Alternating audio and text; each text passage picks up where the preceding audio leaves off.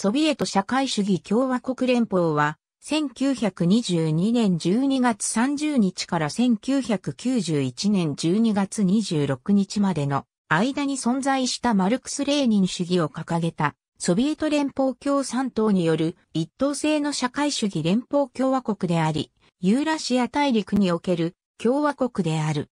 複数の構成共和国により連邦共和国が形成された。首都はモスクワ。2240万2200平方キロメートルの広大な国土は南アメリカと東南アジアのすべての国を合計した面積に匹敵する。第二次世界大戦終結後から冷戦終結まではアメリカ合衆国と共に超大国であった。ソビエト連邦は1917年のロシア革命を起源とする。ロシア社会民主労働党の多数派であるボリシェービキは2月革命によって成立した臨時政府を転覆させ、ロシア社会主義連邦ソビエト共和国を設立した。この10月革命を皮切りに、革命派の赤軍と反革命派の白軍との間にロシア内戦が始まった。赤軍は複数の旧ロシア帝国領に侵攻し、労働者及び小作農のソビエトを通じ、現地の共産主義者の権力掌握を支援した。1922年に共産主義者が勝利し、ロシア、ザカフカース、ウクライナ、シロ、ロシアなどの各共和国を統合して、ソビエト連邦が形成された。1924年に、ウラジーミル・レーニンが死去し、トロイカの集団指導や短期間の権力闘争が起こった。その後、1920年代中頃に、ヨシフ・スターリンが政権を握った。スターリンは自らが創造したマルクス・レーニン主義を国家イデオロギーとし、計画経済を推し進めた。結果として、同国は急速な工業化及び集団農場化を果たした。また、大粛清と言われるほどの自国民への大量虐殺を実行した。1929年、貯蓄事務局という国民的金融機関が大蔵省の管轄となった。国民の預金額と5カ年計画は相互に補完する関係となった。第二次世界大戦、第二次世界大戦勃発前、国家社会主義ドイツ労働者党のアドルフ・ヒトラー、率いるナチスドイツに対して、イギリスとフランスがソビエト連邦との同盟を拒否すると、ソ連はドイツとの独ソ不可侵条約に署名した。同条約は両国間に束の間の蜜月をもたらし、多くの人々を驚愕させたが、1941年にドイツ軍がバルバロッサ作戦を発動して独ソ戦が始まった。レニングラード攻防戦やスターリングラード攻防戦などの防衛戦では莫大な犠牲を払い、ソ連の戦争死傷者数は同大戦において最大の割合を占めた。最終的にソビエト連邦軍は東ヨーロッパのドイツ国防軍を破ってベルリンに突入した。ソ連はドイツ軍が中央、ヨーロッパ及び東ヨーロッパで得た領土を占領し、同領土は後にソ連の衛星国になってヨーロッパに鉄のカーテンを築いた。また1945年8月には日ソ中立条約を一方的に破棄し、日本に対して攻撃を開始し、日本軍に制圧されていた中国東北部と内モンゴル、北方領土や朝鮮半島北部を占領し、アジアに竹のカーテンを築いた。第二次世界大戦では共に戦ったものの、アメリカ合衆国やイギリスなどの西側諸国とのイデオロギー及び戦後処理をめぐる政治的意見の相違により、それぞれが自らを中心とする経済、軍事同盟を構築するに至り、ついには核戦争と隣り合わせの冷戦へと発展した。1953年3月5日のヨシフ・スターリンの死後、東側諸国のユーロダラーがイギリス・フランスのような西側諸国で運用されるようになった。ニキータ・フルシチョフ政権下のソ連は20世紀の重要な技術的偉業を成し続け、史上初の人工衛星打ち上げ及び史上初の有人宇宙飛行を行い、宇宙開発競争をもたらした。1962年のキューバ危機は、米ソ両朝大国間の緊張が極度に高まった期間であり、各戦争寸前だと考えられた。1970年代はデタントの時代となったが、1979年にソ連がアフガニスタンで起こった新たな社会主義政権の要請により軍事支援を始めたことで再び緊張が生じた。アフガニスタン紛争は軍備拡張競争とともに経済資源を消耗させ、有意義な政治的成果も成し遂げられないまま長引いた。1980年後半、ソ連最後の指導者であるミハイル・ゴルバチョフは、連邦の改革及び北欧型の社会民主主義の方向に向かうことを求め、経済停滞期の終焉と政府の民主化を目標としてグラスノスチ及びペレストロイカの政策を導入した。この当時、ノルウェーとスウェーデンの経済は外国の機関投資家によって大きく変革されつつあった。これに追随しようとするソ連では、外資に強固な姿勢を取るナショナリズムが生じる一方で、外資の投下を受けやすい西部がソ連から分離独立しようと動き出した。1988年初頭にソ連は7800万ドル相当のスイスフランを担保にユーロ債市場へ参入。5月にアフガニスタンから撤退した。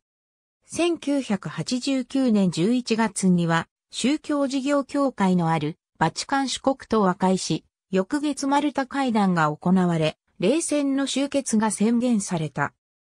1990年3月11日には、リットアニアが独立回復を宣言するなど、連邦構成共和国の統制が取れなくなりつつなる中、ゴルバチョフは翌12日から招集された人民大議員大会で初期調整を廃止し大統領制に移行する憲法改正案を採択させ、3月15日には初代ソビエト連邦大統領に就任した。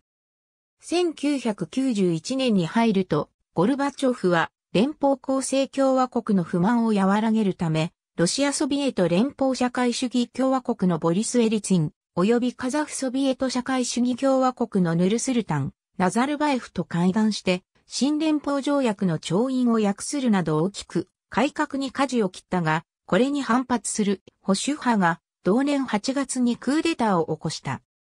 このクーデターは失敗に終わったが、首謀者にゴルバチョフの側近も含まれていたことから、ゴルバチョフ自身のみならず、ソ連共産党、さらには連邦政府の威信と信頼を大いに損なう結果となった。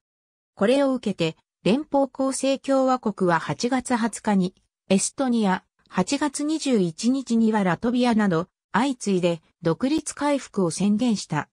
国際社会がリトアニア、エストニア、ラトビアの独立を直ちに承認する動きを見せたことからゴルバチョフは8月24日にこれを追認、連邦の瓦解はもはや不可避となった。12月8日にはロシア、ウクライナ、ベラルーシが互いの独立を承認し、独立国家共同体を創設するベロベーシ合意に調印、12月21日には、ジョージアを除く、残りの11共和国が、アルマータ宣言に署名して CIS に加盟したため、これをもって連邦制は実質的に崩壊した。ゴルバチョフは12月25日にソ連大統領を辞任し、ソビエト連邦の消滅を公式に宣言した。ロシア語表記の正式名称は、税。通称は、税で、国家の歌詞にも使用されている。略称は、または、ラテン文字で SSSR となるが、これは正式名称を音訳すると、ソユーズソビアキックソトシアラスタイシャスキーク、リスプブレックとなるためである。日本語表記ではソビエト社会主義共和国連邦が用いられる。通称はソビエト連邦。略称はソ連邦、ソ連、または単にソビエトやソビエトともする。漢字ではイケリ連邦を、ソツラネなどと表記され、ソと略される。ソビエトは評議会の意味を持つ。第二次世界大戦前は、ロシア帝国時代の新生同盟のように、同盟と訳したソ同盟も使用されたが、ソ連自体が、ゼートはファイであると説明し、在日ソ連大使館も戦前から一貫して、連邦の訳語を使用したことから、連邦が優勢となっている。なお、構成共和国のロシアソビエト、連邦社会主義共和国とザカフカース社会主義連邦ソビエト共和国の国名にも連邦の文字が含まれるが、こちらは税ではなくファイのわけである。旧ソ連圏の統合を目指しているユーラシア連合やユーラシア経済連合の税は連合と訳されている。日本語読みでは税はソユーズで知られる。また、ソ連を構成したロシアソビエト連邦社会主義共和国とその後継国家ロシア連邦はファイである。ソビエト連邦は国名に固有名詞を含まない世界でも稀有な例であるが、連邦を構成する各共和国の国名にはロシアソビエト連邦共和国など地名が含まれている。一部の西側諸国ではソビエト連邦全体を指してロシアと呼び続ける例も多かった。日本では、労農ロシアや赤ロなどとも呼ばれたが、ソ連、ソビエト、ソビエト連邦が一般化した。10月革命2周年を祝うレーニン、トロツキー、カーメネフ・ペトログラードのデモに橋を発する1917年3月12日の2月、革命後、全身的な改革を施行する臨時政府が成立していたが、第一次世界大戦でのドイツ軍との戦線はすでに破綻しており、国内の政治的混乱にも収集のめどはついていなかった。同年8月にラーベル・コルニーロフ将軍による反乱が失敗した後、ボリシェビキに対する支持が高まった。そこでボリシェビキは武装放棄の方針を決め、同年11月7日に権力を奪取した。この11月7日がロシア革命記念日である。同日には最初のソビエト大会が開催され、ソビエトによる体制の成立と政府である人民委員会議が成立した。首相にあたる議長には、ウラジーミル・レーニン、外務人民委員には、レフトロツキー、民族問題人民委員に、ヨシフ・スターリンが就任している。ソビエト政権は、モスクワ近郊を制圧し、11月10日には、左派社会革命党を政権に取り込んだ。1918年1月10日からは、第3回全国ソビエト会議が開催され、ロシアが労働者、兵士、農民のソビエトの共和国であると宣言され、連邦制を取るとした宣言が採択された。ボリシェビキは1919年に共産党と解消した。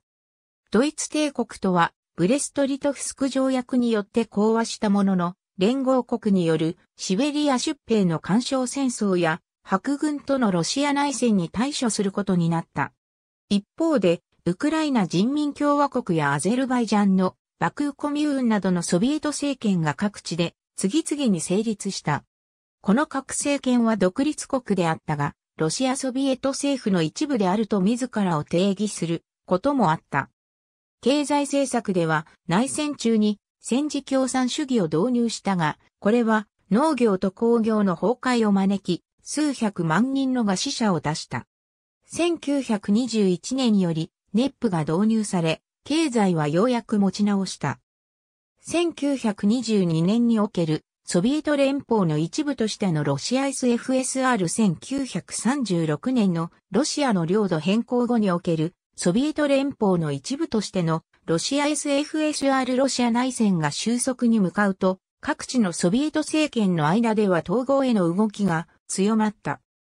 ロシア共産党の手によって各地の革命政権との統合が進行し、1920年にはロシア連邦共和国とアゼルバイジャン社会主義ソビエト共和国の間で緊密な軍事的、政治的な同盟条約が締結され、ウクライナ、シロ、ロシア、グルジア、アルメニアとも同様の条約が結ばれた。これらの国々は憲法を持つ主権国家ではあったが、最高機関は全ロシアソビエト大会と全ロシア中央執行委員会であり、ロシア連邦共和国の主導権は明確であった。1922年5月にはレーニンが脳出血で倒れ、一命は取り留めたものの影響力は急速に低下した。4月にはスターリンがロシア共産党の書記長に就任、党組織を掌握し始めた。8月にはソビエト政権の統合のための委員会が設置され、スターリンが主導者の一人となった。スターリンは9月に各政権が自治共和国としてロシアソビエト社会主義共和国連邦に加入するという統合形式を発表した。この意見は、グルジア以外のソビエト共和国の賛成を得て、採択されたものの、各共和国にとっては不満の残るものであり、レーニンの指導によって10月の中央委員会では、各共和国が対等な共和国として連邦に加入するという形式が定められた。しかし、この修正ではザカフカースの3共和国が一旦連邦となってから加入することが定められたため、グルジアでの猛反発を招いた。反対派は次第に追い詰められ、これによってザカフカース、社会主義連邦ソビエト共和国が成立している。12月には第1回ソビエト連邦全連邦ソビエト大会が開催され、12月30日にロシア社会主義連邦ソビエト共和国、ウクライナ社会主義ソビエト共和国、白ロシア社会主義ソビエト共和国、ザカフカース社会主義連邦ソビエト共和国の4国が、平等な立場で加盟するとしたソビエト社会主義共和国連邦の樹立を宣言する連邦結成条約が調印された。この連邦には、各国が自由な意思で参加、脱退できると定められており、新たな最高機関の設立も決定された。1924年1月31日には最初のソビエト連邦憲法が成立している。1924年にレーニンが死亡したが、生前にはスターリンとトロツキーの対立を憂い、スターリンを警戒するようになっていた。スターリンはまずトロツキーを孤立させ、ついでレーニンの側近だったグリゴリー・ジノビエフやレフカーメネフ、カール・ラデックらを攻撃した。1927年にはトロツキー、ジノビエフ、カーメネフを党から除名したことで明らかな優越者としての地位を確保した。外交面では連合国の直接干渉自体はなくなったものの、ソビエト政権が旧ロシア帝国の債務支払いを拒否したため、関係改善は進まなかった。一方で、国際的に孤立していたバイマル共和制下のドイツは、ソ連と接近し、賠償の相互放棄を定めたラパロ条約の締結となった。ドイツ軍はソビエト領内で軍事開発を秘密裏に行い、ソ連はそれによって情報を取得するという関係も築かれた。この後、中東諸国や中華民国との国交が成立したものの、1925年にはロカルノ条約の成立によって、ドイツが西欧諸国側になったと受け止められた。これに対してソ連は、東欧諸国やフランスと不可侵条約を締結することで対抗しようとした。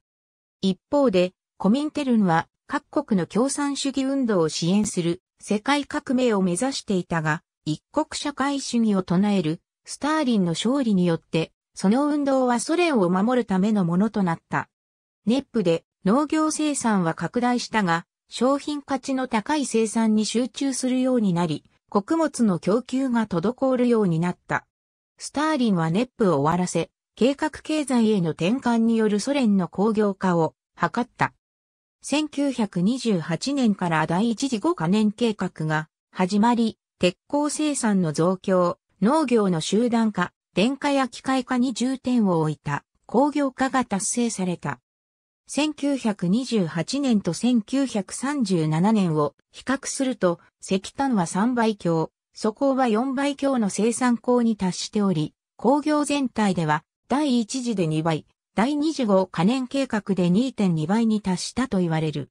同時期に欧米諸国が世界恐慌によって多数の失業者を出し、経済を縮小させたのと比較して、ソ連の経済成長率は世界最高を記録した。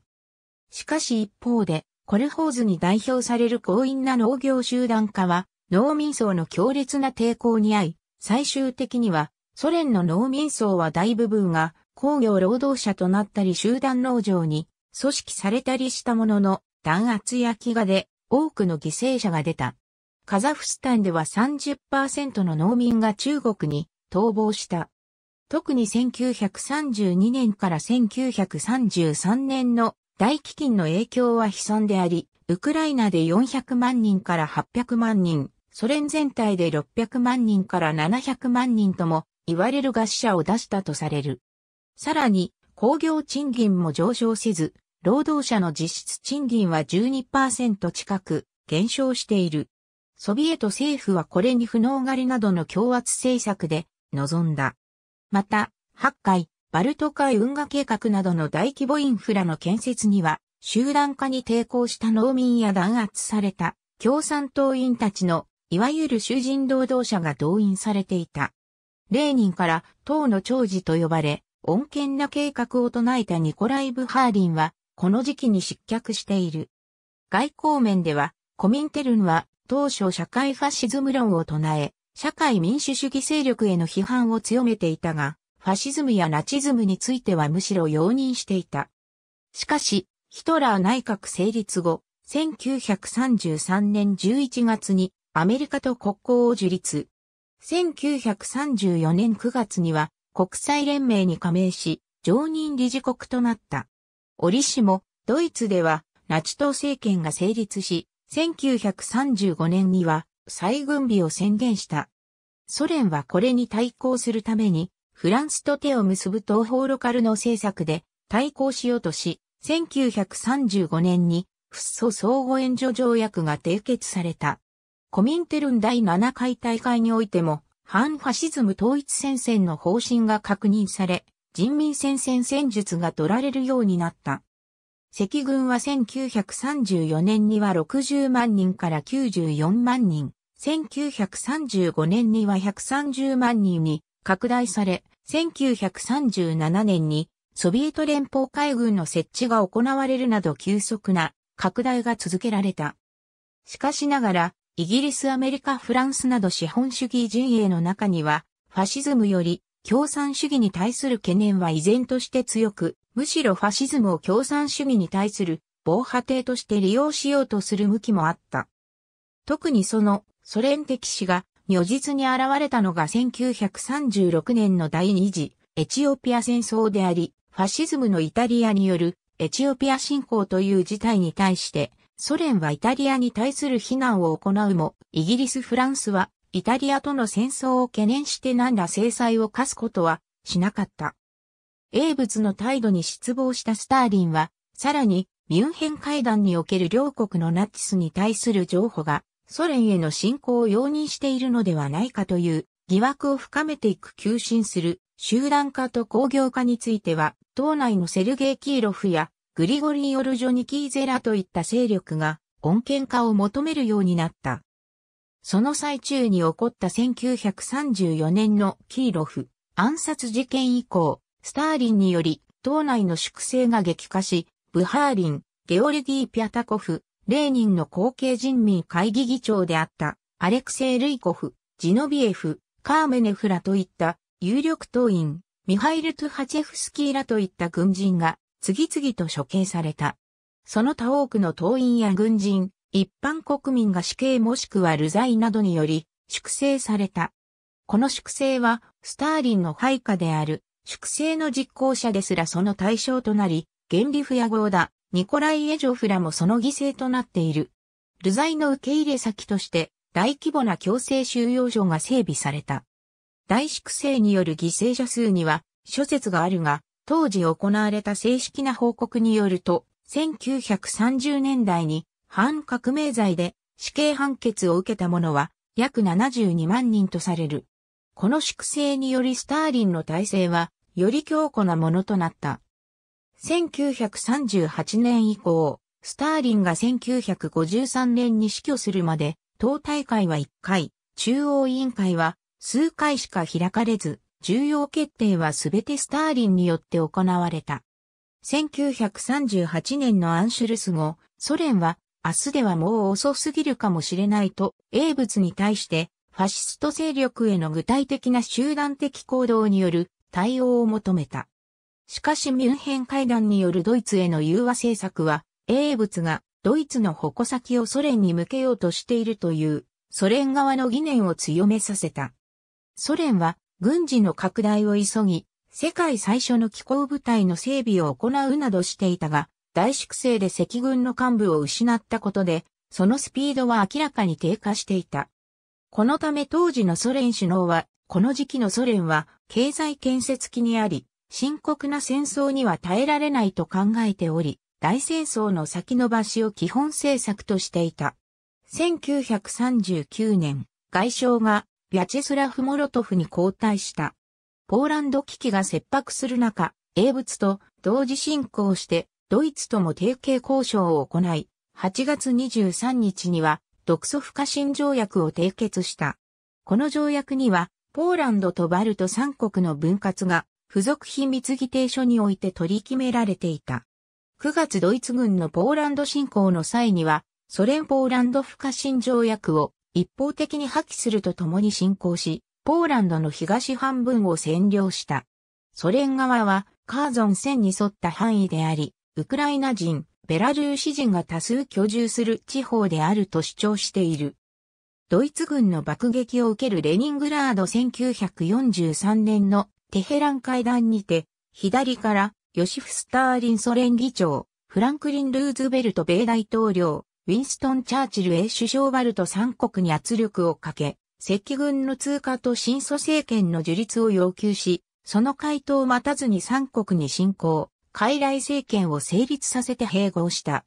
同時にソ連はルーマニアにベッサラビアを割譲するように圧力をかけ、1940年6月にはソ連軍がベッサラビアと北ブコビナに進駐し、割譲させた。さらに、隣国のフィンランドを冬戦争により侵略して、カレリア地方を併合した。しかし、フィンランドの抵抗で思わぬ損害を招き、国際連盟からも追放された。ドイツとの関係は一定の協調関係となっていたが、細部では、きしみが生じていた。ソ連側は、ドイツ側を刺激しないよう対応し、ドイツ側の侵攻を警戒する情報は法的された。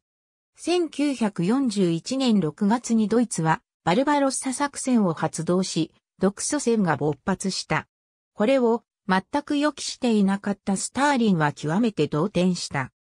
ドイツ軍の猛攻で開戦後間もなく首都モスクワに数十キロに迫られ、レニングラード攻防戦やクルスクの戦いなどにより、軍民を合わせて数百万人の死傷者を出した。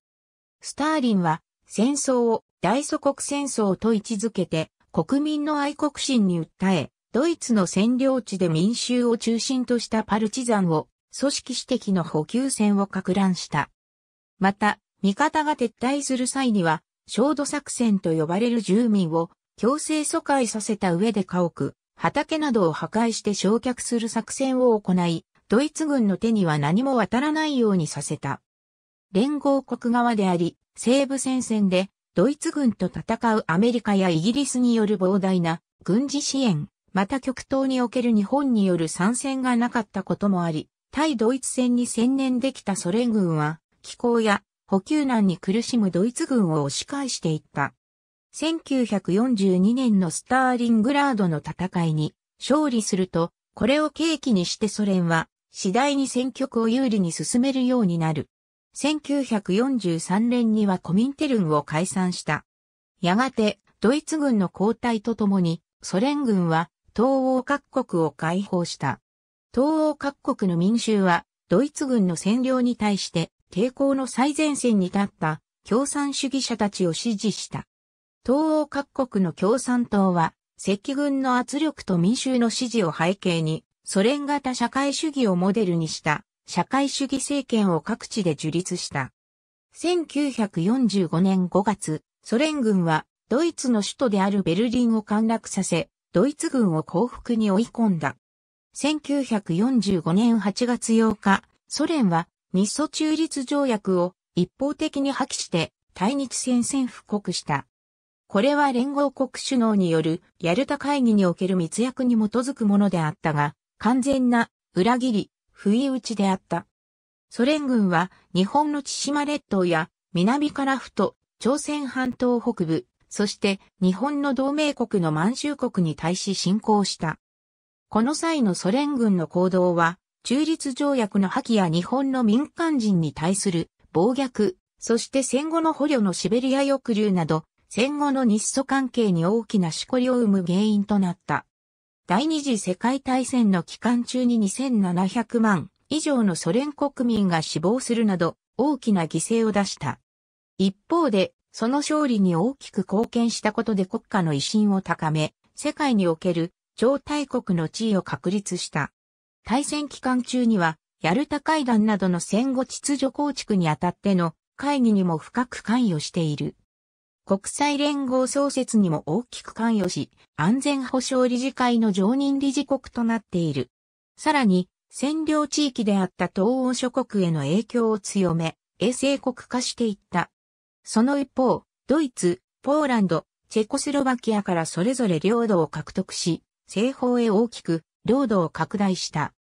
また、開戦前に併合したエストニア、ラトビア、リトアニアのバルト三国への支配、ルーマニアから獲得したベッサラビアの領有を承認させ、これらの新領土から多くの住民を追放あるいはシベリアなどに強制移住させ、代わりにロシア人を移住させた。極東では日本の領土であった南カラフト及び千島列島を占領し、領有を宣言した。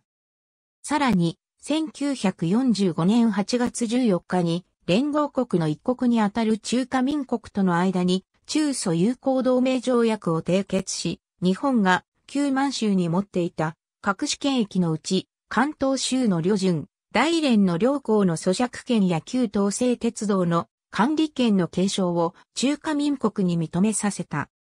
1959年のキューバ革命以後及び1961年の中ソ対立以前におけるソ連及びソ連をモデルとした政府下のその他国々戦後ソ連はドイツの支配からソ連の支配権とした東ヨーロッパ諸国の反対派を粛清し、スターリン主義的な社会主義政権を導入しこれらもソ連の衛星国とした。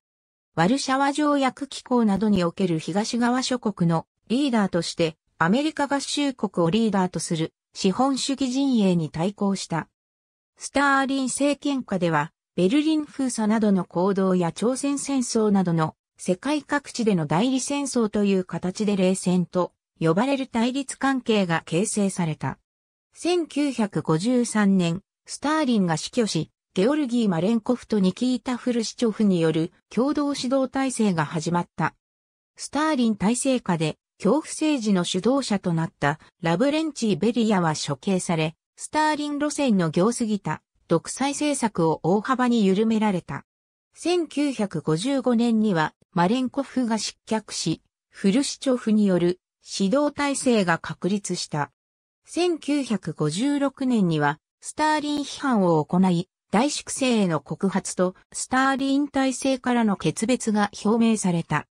これは東欧諸国にも強い衝撃を与え、各国では政治改革の動きや反体制運動が発生したが、ハンガリー動乱には武力介入して、これを鎮圧した。また、反対派を殺害、処刑、投獄し、各国政権に圧力をかけ収集させた。一方で、スターリン批判は中華人民共和国の反発を招き、中ソ対立が進行することになった。また、朝鮮民主主義人民共和国では、ソ連型の社会主義体制を目指すソ連派が、近日清排除のクーデターを画策するが、失敗し、勢力が一掃された。フルシチョフ時代にも軍拡は推し進められており、核兵器とミサイル兵器の配備が進んでいた。1962年のキューバ危機は、核戦争の危機を世界に知らしめることになり、その後はアメリカとの関係は改善が進んだ。しかしベトナム戦争やアフリカ、南アメリカでの代理戦争と呼ばれる紛争は継続していた。フルシチョフは食料生産に力を注ぎ一時的には大きな成功を収めるものの、あまりにも急な農業生産の拡大により、農地の非栄養化、砂漠化が進み、結果、ソ連は食料を国外から輸入しなければならない事態に追い込まれた。1979年6月18日、第二次戦略兵器制限交渉の調印を行う、レオニード・ブレジネフソ連書記長及びジミー・カーター米大統領1964年に、フルシチョフは農業政策の失敗と西側諸国に対しての寛容的な政策を取ったことを理由に失脚させられた。代わって、レオニード・ブレジネフが指導者となった。しかし、中華人民共和国とは中ソ対立が激化したことによって、両国の関係はほぼ断絶状態に近くなり、1970年代には、米中国交正常化による中華人民共和国の西側への接近を許すことになった。ソ連は東欧諸国を勢力圏下に置き続けるため、1968年には制限主権論の名のもとに、チェコスロバキア社会主義共和国の民主的改革に対して介入し、ソ連は強い国際社会の批判を浴びるようになった。この状況でソ連は西側諸国との協調を図るようになり、戦略兵器制限交渉などが行われた。プラハの春を武力で弾圧した事実は同じ共産主義陣営の中にも動揺を生んだ。中華人民共和国はソ連を社会帝国主義と批判し、ルーマニア社会主義共和国のニコラエ・チャウシェスクや、アルバニア社会主義人民共和国のエンベル・ホッチャも、同様にソ連を批判した。また、西側諸国の共産党においてもイタリア共産党やスペイン共産党がソ連型社会主義と決別するユーロコミュニズムを採択するなど、国際共産主義運動は分裂状態に陥った。1963年2月、フッ素通商条約。1965年、フッ素原子力平和利用協定。そしてベトナム戦争にて、ホーチミン率いる北、ベトナムを支援した。1969年にはかねてから対立していた中華人民共和国とチンポー島、ダマンスキー島をめぐって中祖国境紛争を戦った。1970年1月にイタリアと2月には西ドイツと貿易協定。1971年3月、フッソーラン協定。10月、フッソ共同宣言、フッソ新経済協力協定。1972年、ソ連は共作のため穀物メジャーを頼った。1974年5月、英ソ経済協力協定。12月、フッ素首脳会談で経済協力5カ年協定。1975年1月、米ソ通商協定破棄を通告。10月、米ソ穀物協定。1976年3月、日米ソ3カ国がヤクート天然ガス探査協定。11月、米ソ漁業協定。1977年3月、排他的経済水域を実施。1979年12月、ソ連はアフガニスタンの共産主義政権がアメリカと関係を結ぼうとしているとみて、アフガニスタンへの侵攻を行った。これは、パキスタン、サウジアラビア、イランなどといった一部のイスラム諸国及び西側諸国、中華人民共和国による猛反発を受け、翌年に行われたモスクワオリンピックの大量ボイコットを招き、デタントの流れは終焉した。アフガニスタンでの戦闘は泥沼化して1989年まで続き、国際社会からの孤立を招いただけでなく、多大な人命と戦費の損失を招いた。さらに、ソ連を悪の帝国と名指しで批判するロナルド・レーガン大統領政権下のアメリカとの軍拡競争がさらに激化するようになった。1983年9月には大韓航空機撃墜事件が発生したことで西側諸国との緊張はさらに増した。ブレジネフ政権は18年にわたった長期政権だった。停滞しつつも安定し、ソ連の歴史上、初めて飢餓も、創造事件も粛清もなくなった。その代わり、改革はまるで行われず、官僚主義による党官僚の特権階級化、ブレジネフ一族の縁故主義など、体制の腐敗が進んだ。経済面でも1960年代頃まで10%を誇った成長率は次第に鈍化していった。その付けは国民生活に回り、食料や燃料、生活必需品の配給や販売が滞るようになった。改革開放を始めた中華人民共和国を除き、東側諸国全体の経済も1970年代後半から停滞していく。1980年代に入り西側諸国の豊かな生活の情報がソ連国内で入手できるようになると、国民は体制への不満と自由な西側への憧れを強めていくことになる。小麦の生産量は世界一だった農業も慢性的な不振となり、小麦をアメリカから輸入することが恒常的になった。しかしデタントの終焉後は穀物輸入も逼迫し、さらに経済の悪化を招いた。技術競争でもアメリカや日本に大きな遅れを取るようになり、ソ連崩壊の直前は GNP も日本に抜かれて3位となる。ロナルド・レーガン米大統領と1対1で会談を行うミハイル・ゴルバチョフ初期長1982年に死去したブレジネフの後継者となったユーリ・アンドロポフ。アンドロポフの死後に後継者となったコンスタンティン・チェルネンコと老齢の指導者が相次いで政権の座についた。しかし、共に就任後間もなく闘病生活に入りそのまま病死したため、経済問題を中心とした内政のみならず、外交やアフガニスタン問題についてさえも、具体的な政策をほとんど実行に移せず、ブレジネフ体制以来の長老支配を内外に印象づけることになった。その後、この両名の時代において、ますます深刻化した経済的危機を打開すべく、1985年3月に誕生したミハイル・ゴルバチョフ政権は、社会主義体制の改革、刷新を掲げ、ペレストロイカを推し進めた。これにより、長きにわたった一党独裁体制下で腐敗した政治体制の改革が進められた。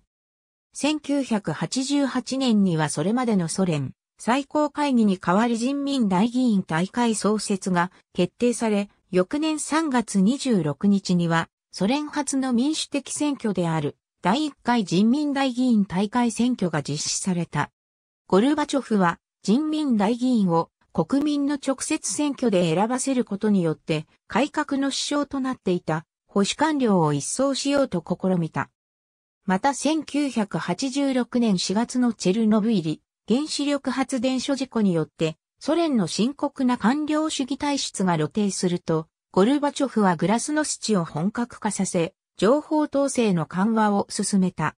これを受けて、ソ連国民の間では、歴史の見直しや活発な政治討論などが行われるようになった。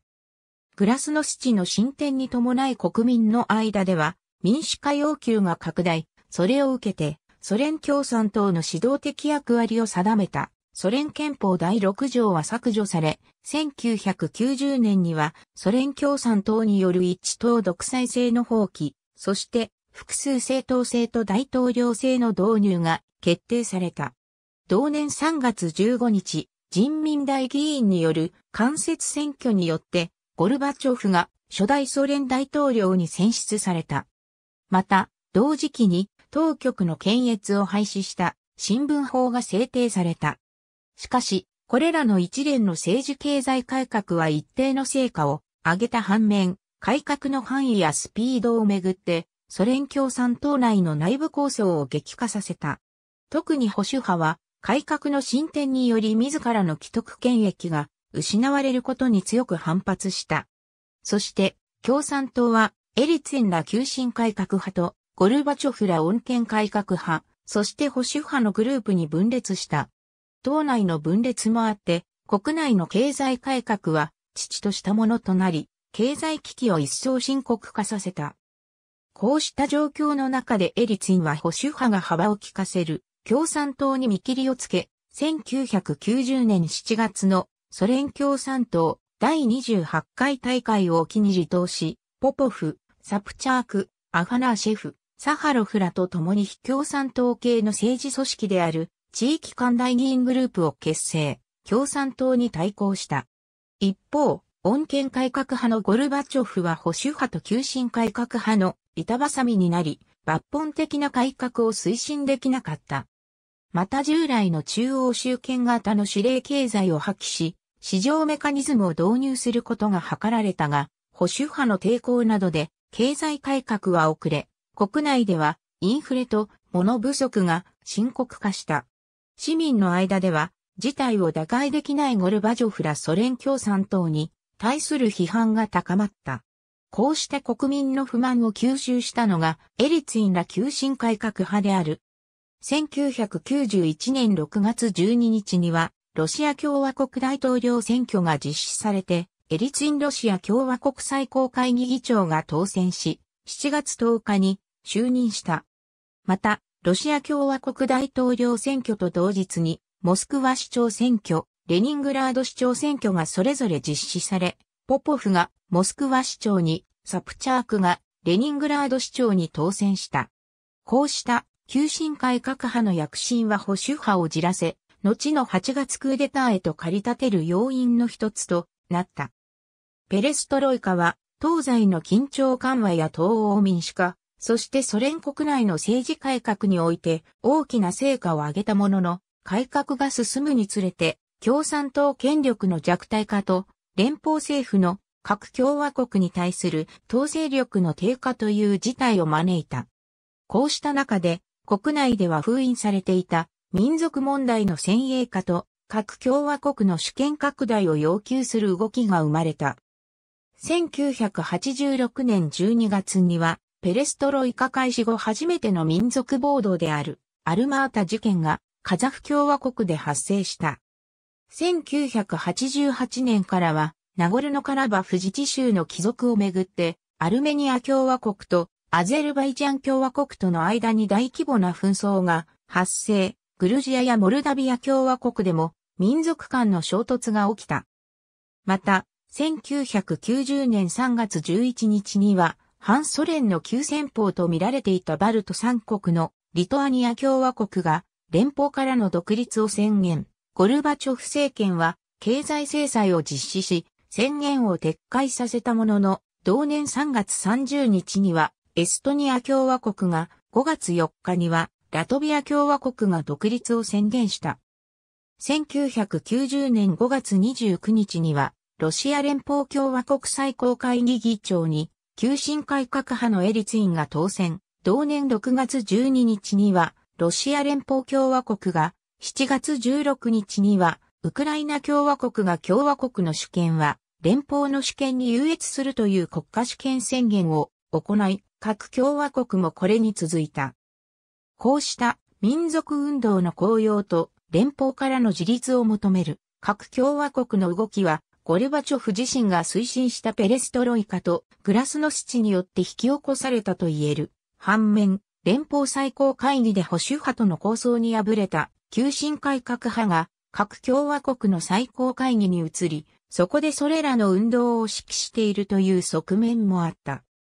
特にソ連の全面積の76%、全人口の51%、そして他の共和国と比較して圧倒的な経済力を要するロシア共和国の元首に、急進改革派のエリツィンが就任したことは大きな意味を持っていた。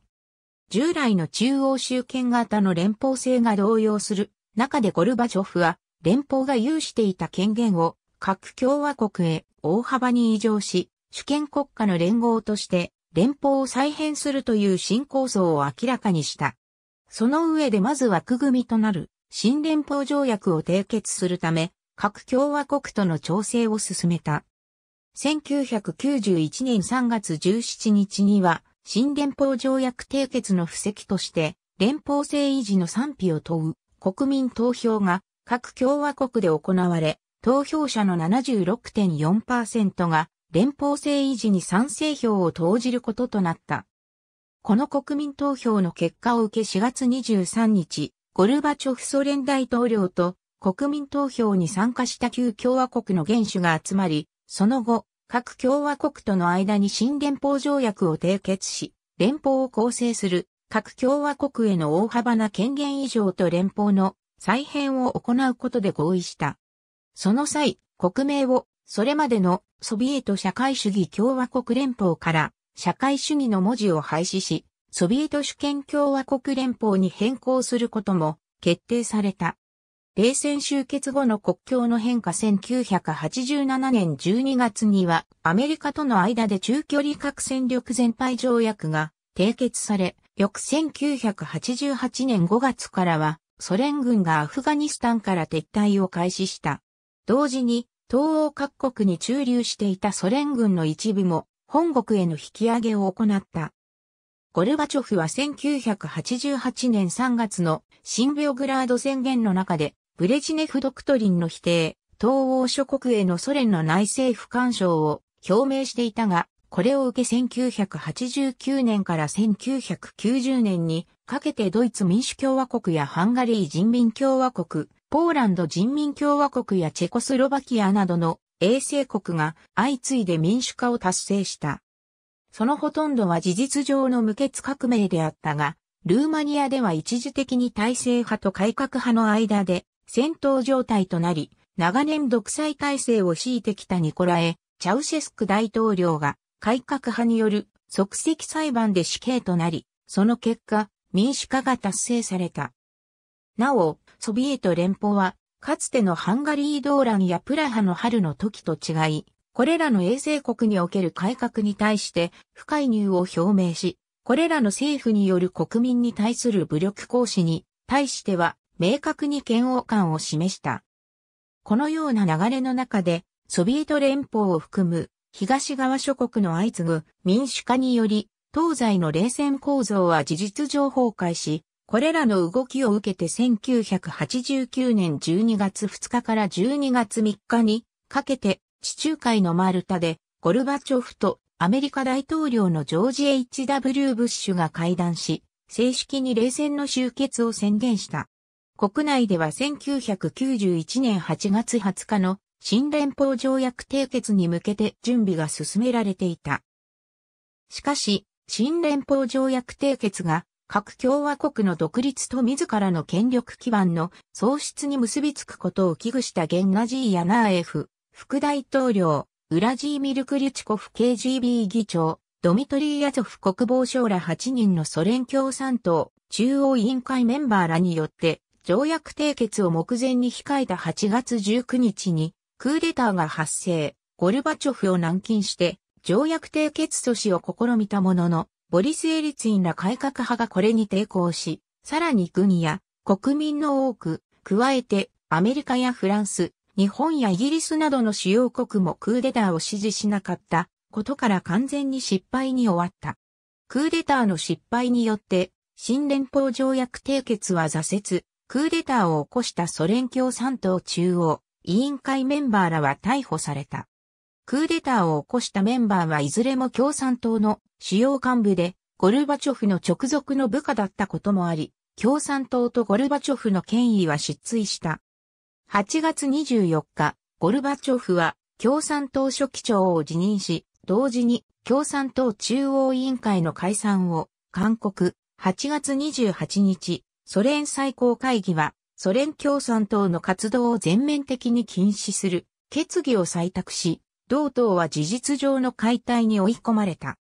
連邦政府の中核を担い、そして連邦を一つにまとめ上げてきたソ連共産党が解体されたことにより、各共和国を統制することができる政府組織は存在しなくなり、各共和国の元首が独自に権力を持つようになった。そしてこれ以後、実権は各共和国の元首から構成される国家評議会に移っていくことになる。9月6日、国家評議会はバルト3国の独立を承認した。新連邦条約締結に失敗したゴルバチョフソ連大統領はこのまま連邦制維持に奔走し、11月14日、ロシア共和国とベラルーシ共和国、そして中央アジアの5つの共和国の元首との間で主権国家連邦を創設することで合意、また連邦への加盟を拒んでいる残りの共和国への説得を続けた。しかし12月1日にはウクライナ共和国で独立の是非を問う国民投票が実施され、投票者の90.3%が独立を支持。当初は連邦制維持に賛成していたエリツィンロシア連邦共和国大統領も5000万の人口用紙ソ連第2位の工業国であるウクライナが加盟しない主権国家連邦にロシア共和国が加入することは利益にならないとして12月3日にウクライナ独立を承認しソ連崩壊の流れを決定づけた。同年12月8日のベロベーシ合意において、ロシア、ウクライナ、白、ロシアが連邦を離脱して、新たに独立国家共同体を創設し、残る諸国もそれに倣って CIS に加入した。12月17日、ゴルバチョフ大統領は1991年中に連邦政府が活動を停止することを宣言。12月21日、グルジアとすでに独立したバルト3国を除く11のソ連構成共和国元首が CIS 発足やソ連解体を決議したアルマータ宣言を採択。これを受けて12月25日にゴルバチョフはソ連大統領を辞任し、翌日には最高会議も連邦の解体を宣言。ソビエト連邦は崩壊した。ソビエト社会主義共和国連邦は当時において世界一の広さを誇った国であった。そのために隣接していた国は東ヨーロッパ、北ヨーロッパ、中央アジア、東アジア、アメリカ大陸など幅が広い。陸続きで隣接した国は、西はノルウェー、フィンランド、ポーランド、チェコスロバキア、ハンガリー、ルーマニア、南はトルコ、イラン、アフガニスタン、モンゴル、中華民国、北朝鮮であり、海を挟んで、南は日本、東はアメリカ合衆国である。全域で寒波の影響が非常に強力なため、冬季は北極海に面したところや内陸部を中心に極寒である。そのためなかなか開発が進まず、囚人を酷使した強制労働で多くの命が失われた。自動車道の開発は遅れたが雪に強い鉄道が発達しており、シベリア鉄道は超長距離路線であるにもかかわらず、共産主義はソビエト権力全国の電化であるというレーニン以来の方針により電化が進んでおり、軍事輸送や貨物輸送に大いに役立った。長い国境のうちにはいくつかの領土問題を抱えており、1960年代には軍事紛争になったケースもある。海を隔てた隣国の一つである日本とは、第二次世界大戦から北方領土問題を持っており、この問題はロシア連邦になった現在も解決されていない。また、フィンランドにもカレリア地域の問題が残されている。ソ連はヨーロッパとアジアをまたぐ国であったことから、ユーラシアや北アジアと呼ばれることが多い。サッカーでカザフスタンは欧州の連盟に参加していることからヨーロッパとする見方があるが、トルコ、キプロス、イスラエルなどの西アジアの国々も加盟しており、全くこれは論拠にならない。ソ連時代に、いわゆる公用語も存在しなかった。すなわち、ロシア語はソ連の公用語ではなかった。レーニンがオーストロマルキシズムやカウツキーの影響のもと、1914年の論文、強制的な国家語は必要か？において国家語の制定を批判し、スターリンも民族問題の専門家として民族語奨励政策を採用している。厚生共和国にはソビエト連邦から自由に離脱する権限が憲法で認められていた。しかし、実際に連邦から離脱するための手続きを定めた法律はなく、ソビエト連邦の末期にゴルバチョフが定めた連邦離脱法は極めてハードルの高いものであった。このため、バルト三国は連邦離脱法を無視し、1990年に独立することとなる。また、国際連合には、ソビエト連邦そのものとは別枠でウクライナ、白、ロシアが独自に加盟していたため、ソビエト連邦は国連において事実上3秒を投じることができるに等しかった。ソビエト連邦は超大国であったが、軍事や核兵器以外の産業は遅れており、エネルギーの効率や環境対策も遅れていた。そのため、汚染地域が多く、ジェルジンスク、ノリリスク、スムガイとチェルノブイリは極めて汚染がひどかった。特に、チェルノブイリ原発事故では、広島型原爆の約500発分の放射性効果物が撒き散らされ、多くの被災者が出た。核実験場のあったセミパラチンスクでは120万人が、いわゆる死の灰を受け、30万人が後遺症の深刻な被害を受けている。1982年、ソビエト連邦最高会議議事堂の大クレムリン宮殿間接代表制を拒否し、労働者の組織、ソビエトが各職場の最下位単位から最高議決単位まで組織されることで国家が構成されていた。ただし、こうしたソビエト制度が有効に機能した期間はほとんどないに等しく、実際にはソビエトの最小単位から最高単位まで全てに浸透した私的組織であるソビエト連邦共産党が全てのソビエトを支配しており、事実上、一党独裁制の国家となっていた。こうした党による国家の各単位把握及びその二重権力体制はしばしば同国家体制と呼ばれている。この細胞を張り巡らせる民主集中性と計画経済を基礎とする、いわゆるソ連型社会主義と呼ばれる体制は、アパラチキによる抑圧的な体制であり、言論などの表現や集会、結社の自由は事実上、存在しなかった。指導者選出のためのノーメンクラトゥーラ制度は、円弧主義の温床となり、新たな階級を生み出した。一般の労働者や農民にとっては支配者が、ロマノフ朝の皇帝から共産党に変わっただけで、政治的には何の解放もされておらず、むしろ、ロマノフ朝時代より抑圧的で非民主的な一党独裁体制であった。そのため実質的に最高指導者であるソビエト連邦共産党書記長は赤色皇帝とも呼ばれる。スターリン時代からゴルバチョフが大統領制を導入するまで、名目上の国家元首は最高会議幹部会議長であったが、実権はソビエト連邦共産党書記長が握っていた。ブレジネフ以降は共産党書記長が最高会議幹部会議長を兼務するようになったが、最高会議幹部会議長の権限は儀礼的、名誉的なものであり、彼らの権力の源泉は支配政党である共産党の初期朝職であった。建国者のレーニンは秘密警察のチェーカーを設立し、即座に容疑者の逮捕、投獄、処刑などを行う権限を与えられ、これが粛清の引き金となった。チェーカーは建前上、党に所属するものとされていたが、実際にはレーニン個人の直属であったと言っても過言ではない。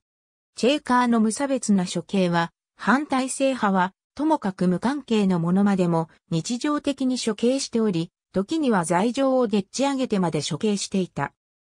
レーニンは、ニコライの手は血にまみれているのだから、裁判は必要ないという理由で、皇帝一家ともども処刑を行うなど法に対する姿勢がずさんであったために、歴史家、ドミトリー・ボルコゴーノフは、ボリシェビキが法を守るふりさえしなくなった契機だと批判した。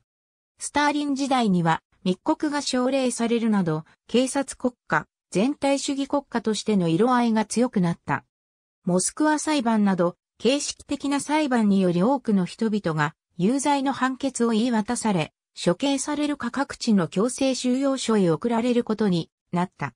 スターリンはトロツキーやキーロフなどの性的たちや党内反対派を殺すために、チェーカーを解明した GPU を用いた。スターリン批判後には、このような抑圧的なシステムは幾分か緩和されることになったが、秘密警察の GPU が改変された KGB として存続し国民生活を強く監視する体制は残った。赤は社会主義国、薄い赤はその影響下にある国外交関係では、東側の社会主義国陣営の名手として、アメリカ合衆国を筆頭とする西側の資本主義国陣営と対決していた。成立当初は、フランスやイギリス、アメリカ合衆国など、大国の承認を得られず孤立したが、その後各国と国交を結び、さらに1930年代後半から1940年代にかけては日本やドイツと協定を結ぶ。独ソ戦で侵攻してきたドイツを撃退、打倒した第二次世界大戦後に、東ドイツやチェコスロバキア、ブルガリアなどの東ヨーロッパ諸国を衛星国化させた。さらに、ユーゴスラビアが主導する非同盟諸国と呼ばれる中華人民共和国、インドキューバエチオピアエジプトイラクシリアなどのいわゆる第三世界と友好協力条約を結び、関係を持つ。経済相互援助会議では、メキシコ、モザンビーク、フィンランドといった非社会主義協力国もあった。東アジア、中南米、アフリカなどでも民族解放、反帝国主義、植民地独立を唱える共産主義政権の成立に協力し、アメリカや西ドイツ、イギリスやフランスなどの西ヨーロッパ諸国、日本などの資本主義国と対峙した。中華人民共和国ソビエト連邦の軍事支援により、蒋介石率いる中国国民党との国境内戦に勝利した毛沢東率いる中国共産党によって1949年に建国された中華人民共和国とは、当初中ソ友好同盟相互援助条約により、同盟関係にあったが、1960年代の後半には、領土問題による軍事衝突や指導層の思想的な相違の問題から中ソ対立が表面化した。両国間のこのような対立関係は、その後、中華人民共和国における内乱である文化大革命が終結する1970年代後半まで続くことになる。そのような対立関係を見たアメリカ合衆国はソ連を牽制する意図で1970年代に入り急速に中華人民共和国に接近し、1979年には国交樹立に至ることになる。一方、中華人民共和国もアメリカの接近に応える形で東側陣営にもかかわらず当時のモスクワオリンピックのボイコットとロサンゼルスオリンピックの参加という西側と歩調を合わせる行動をとった。また、カンボジア内戦やアンゴラ内戦、オガデン戦争などのように、米中ソ三つどもいとなる代理戦争も発生した。その後は、独裁体制を敷き、ソ連と対立していた毛沢東の死去と文化大革命の終焉、ゴルバチョフの訪中といった要因により、ソ連と中華人民共和国の関係も再び改善に向かった。キューバ1959年1月にキューバ革命でアメリカの支援を受けていた独裁者のフルヘンシオ、バティスタを政権の座から引きずり下ろしたフィデル・カストロは当初米ソ両国との間で比較的中立な立場をとっていたものの、アメリカのドワイト・ディ・アイゼンハワー政権はキューバ革命後に産業の国営化を進めたカストロを社会主義者的と警戒し距離を置いた。同時にソ連がアメリカの裏庭にあるキューバの最高指導者となったカストロに援助を申し出たことから、両国は急接近し、南北アメリカ大陸における唯一のソ連の友好国となる。その後、ジョン・ F・ケネディ政権下でアメリカはキューバ侵攻を画策し、1961年にピッグス湾事件を起こしたことから、カストロはアメリカのキューバ侵攻に備えて、ソ連に武器の供与を要求し始めた。しかしソ連は表だった武器の供与はアメリカを刺激しすぎると考え、キューバ軍への武器提供の代わりに軍事顧問団を置くほか、ソ連の核ミサイルをキューバ国内に配備するアナディル作戦を可決し、1962年にソ連製の核ミサイルをキューバに配備した。しかし、このことを察知したアメリカは、海軍艦艇により、キューバ海域を海上封鎖し、キューバに近づくソ連船舶に対する臨検を行うなど、キューバを舞台にしたアメリカとの軍事的緊張を引き起こした。その後もソ連は、その崩壊まで、キューバに対する軍事的支援のみならず、経済的支援も活発に行い、キューバの主要産業である砂糖キビを破格の価格で買い取り、その見返りに、キューバがその供給を完全に輸入に頼っている石油を与えるなど様々な支援を行い続けた。日本帝政ロシア時代に言っていた南下政策により日本やイギリスと衝突し、イギリスと日英同盟を結んでいた日本との間に日露戦争が起きて敗北した。第一次世界大戦時、ボリシェビキ政権の成立後に他の連合国を無視して対独単独講和を行ったため、ドイツ兵の通過を許可するのではないかとして、日本及び中華民国から警戒されることとなった。また、ドイツへ資源供与するのではないかとして、イギリス及びフランスからも警戒され、両国によってシベリア出兵を打診され、実際に出兵した日米と直接衝突することとなった。その後、連合国の擁護する臨時全ロシア政府を打ち負かしたものの、その時に日本へと亡命した白系ロシア人らによって反祖宣伝を広められてしまった。なお、日本の帝国議会は1922年の政変を受け、ロシア政変及びビニシヒリア事変のためを、非リタルシャ島の休日に関する法律を成立させ、ロシアとシベリアからの引き上げ者に国債や現金を支給する措置を取った。なお、休日とは、金品などを与えて救済するという意味である。ソビエト連邦の成立後、コミンテルン支部の中国共産党によって観光事件を起こしたが、その後に反日運動を停止する方向で動いていた。しかし、中祖紛争勝利後に中国共産党によって朝鮮共産党に対し満州にある日本領事館などへの襲撃を行わせたほか、中国共産党によって満州のソビエト化を計画していたが、関東州の日本警察によって計画を暴かれてしまう。その後、日本によって満州事変を起こされ、満州国が建国されてしまい、満州国との国境などでたびたび日本と軍事的衝突を起こしていた。また、中国共産党が朝鮮地方の普天法を襲撃したりと、日本に対し赤色定路活動を続けたりしていた。第二次世界大戦中の1941年4月に日ソ中立条約が締結され、数軸国と連合国という対立する陣営に所属しながらも国交を保ち続けていたものの、ヤルタ会議において連合国間で結ばれた密約をもとに、1945年8月にこれを一方的に破棄し、日本に宣戦布告し、日本が連合国に降伏したにもかかわらず侵略を続け、千島列島、北方地域なども占拠した。その上、多くの日本人捕虜を戦後の長い間シベリアなどに交流して強制労働に処し、全収容者の1割以上が病気、事故により死亡している。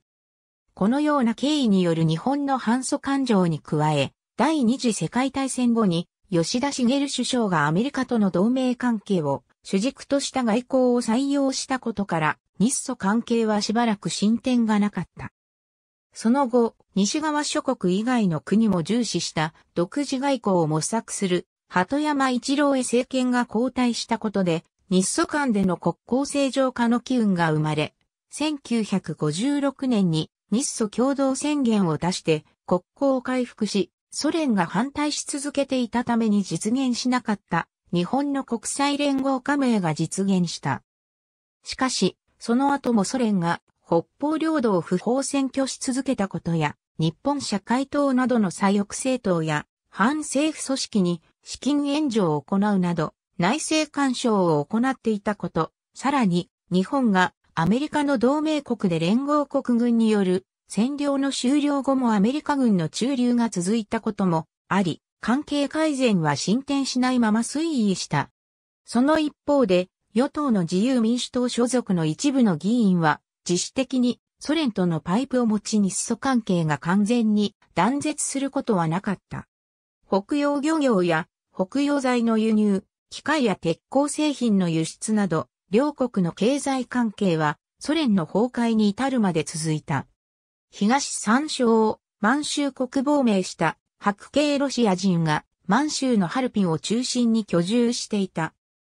崩壊した臨時全ロシア政府や白軍と関わりのある者によってザリアやグンバオなどのソ連に批判的な白系ロアザ新聞が執筆されており、また白系ロシア人が中国や日本と共に反革命を計画していたため、ソ連は満州に住む白系ロシア人に手を焼いていた。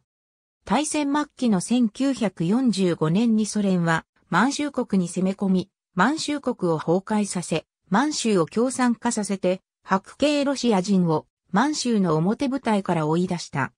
イギリス1924年のジノビエフ書簡事件により、イギリスから警戒される。さらに1927年のアルコス事件によって秘密文書がイギリスに漏れてしまう。その一方で、1941年7月には独ソ戦を受けて軍事同盟の条約を結ぶ。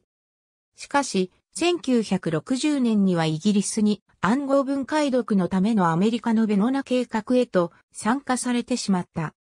アメリカ合衆国アメリカ合衆国とは第二次世界大戦においては連合国軍における同盟国として協力関係にあり、武器の提供を受けるなど親密な関係にあった。しかし、第二次世界大戦後は、東側の共産主義国陣営の名手として、対する西側の資本主義国の事実上の名手となっていたアメリカ合衆国と、いわゆる冷戦という形で対立することになった。このような関係の変化を受けて、1950年代における朝鮮戦争や1960年代におけるベトナム戦争など、いわゆる代理戦争という間接的な形で軍事的対立をしたが、全面的な核戦争に対する恐怖が双方の抑止力となったこともあり、直接的かつ全面的な軍事的対立はなかった。しかしベルリン封鎖やキューバ危機などでは、全面的な軍事的対立の一歩手前まで行ったほか、U-2 撃墜事件における領空侵犯を行ったアメリカ軍機の撃墜など、限定的な軍事的対立があったのも事実である。このような対立関係にあったにもかかわらず、冷戦下においても正式な国交が途絶えることはなく、双方の首都に対する民間機の乗り入れが行われていた。外国、特に西側諸国への個人的理由での渡航は、亡命とそれに伴う国家機密の流出や外貨流出などを防止することを主な理由として原則的に禁止されており、渡航先の国と国交があるか否かに関わらず、当局の許可がない限り渡航は不可能であった。許可が下りた場合でも様々な制限があり、少なくとも個人単位の自由な旅行は不可能であった。これはソ連社会及び東側の社会主義体制の閉鎖性の象徴として西側の資本主義陣営から批判された。さらに外国から帰国した旅行者は必ずと言っていいほどに諜報部から尋問を受けるため本人にはその意思がなくても外国で見たことを洗いざらい喋らねばならず、結果的にスパイをしてしまうというケースが多かった。他にもアエロフロートのような民間航空会社や乗客が実際にスパイとしての役割を兼ねている場合もあった。ただし、経済相互援助会議加盟国同士での海外渡航は容易に可能であり、観光や就労、留学など様々な目的にて人的交流は存在した。西側諸国人との交際や結婚は多くの障害があり、特に幅広く指定された国益に直接関係するものや国家機密に関わるものの婚姻は禁じられていた。それでも一応、結婚自体は可能であったが、その時点でソ連社会での出世の道は途絶えた上に、今度は配偶者の母国に出国するためのパスポート発給に長い年月を要した。これは西側の資本主義国に限らず、衛星国の人との結婚でさえも当局から様々な妨害を受けたと言われている。外国航路を運航する船舶や外国で演奏旅行をする楽団のみならず、海軍艦艇に至るまで乗務員や楽団員の亡命を阻止し、外国における言論を監視するために必ず、ソ連共産党の政治将校が同行していた。それでもスポーツ大会や演奏会などでの亡命は、個人や集団を問わず、絶えなかった。しかし運よく移住できた場合でも、移住先の国家や社会からは、ソ連のスパイという疑念を持たれることが多く、決して安住の地とは言えなかった。ユダヤ人例外として、1950年代までのユダヤ人のイスラエル出国がある。ソ連政府はパレスチナでのイスラエル建国を支持し、大戦からの復興途上にある自国からユダヤ人を平和的に減らせるこの移住政策を積極的に推進した。しかし、間もなく、イスラエルがアメリカの強い支援を受け、対抗したアラブ諸国がソ連との関係を深めると、このユダヤ人移住も徐々に減っていった。1967年の第三次中東戦争で両国の国交は断絶し、以後、冷戦の終結まで集団出国はほとんど行われなかった。国外追放もう一つの例外として、ソ連政府の意に沿わない人間に対する国外追放があった。国家の安定や社会主義体制の発展の害となり、かつ国外での知名度が高いために、国内での粛清や公金が困難な場合には、対象者の市民権やパスポートを奪い、西側諸国に強制追放した。これにより、レフトロツキーやアレクサンドル・ソルジェニーツィンはソ連から出国したが、追放者の帰国を認めない点では、外国渡航禁止と同一の発想に立った政策であった。しかし、政府の意に沿わない人間であっても、物理学者のアンドレー・サハロフのような軍事機密や技術の流出につながる人物は国外追放されずに国内で軟禁または流刑させる形をとった。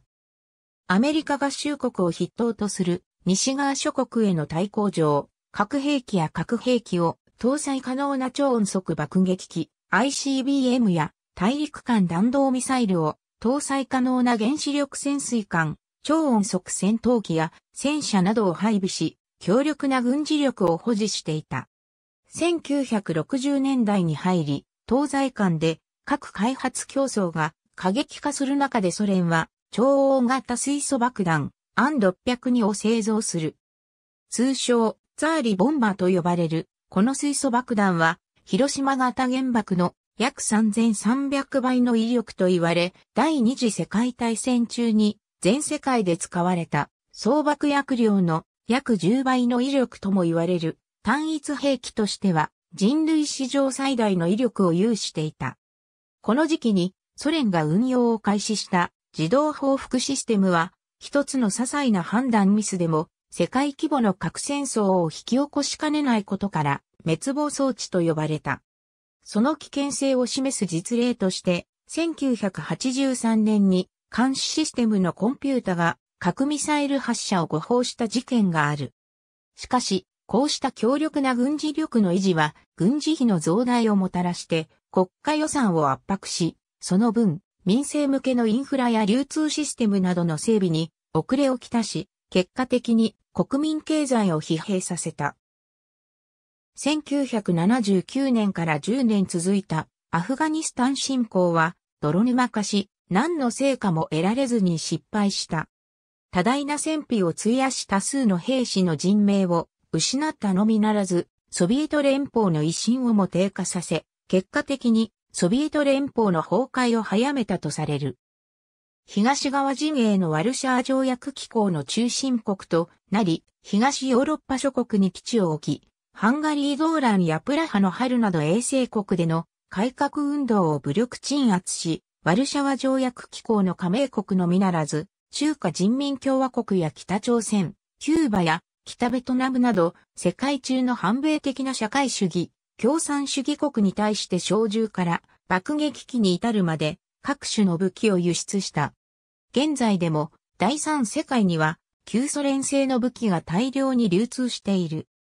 それだけでなく、自らの軍事技術をこれらの国に輸出した他にも、将校などを派遣して軍事訓練を行い、これらの国における軍事技術の向上に寄与し、その中には、モスクワのパトリスルムンバ名称民族友好大学や、各種軍施設などにおけるスパイやテロリストの要請や、資金供与、武器の供与なども含まれている。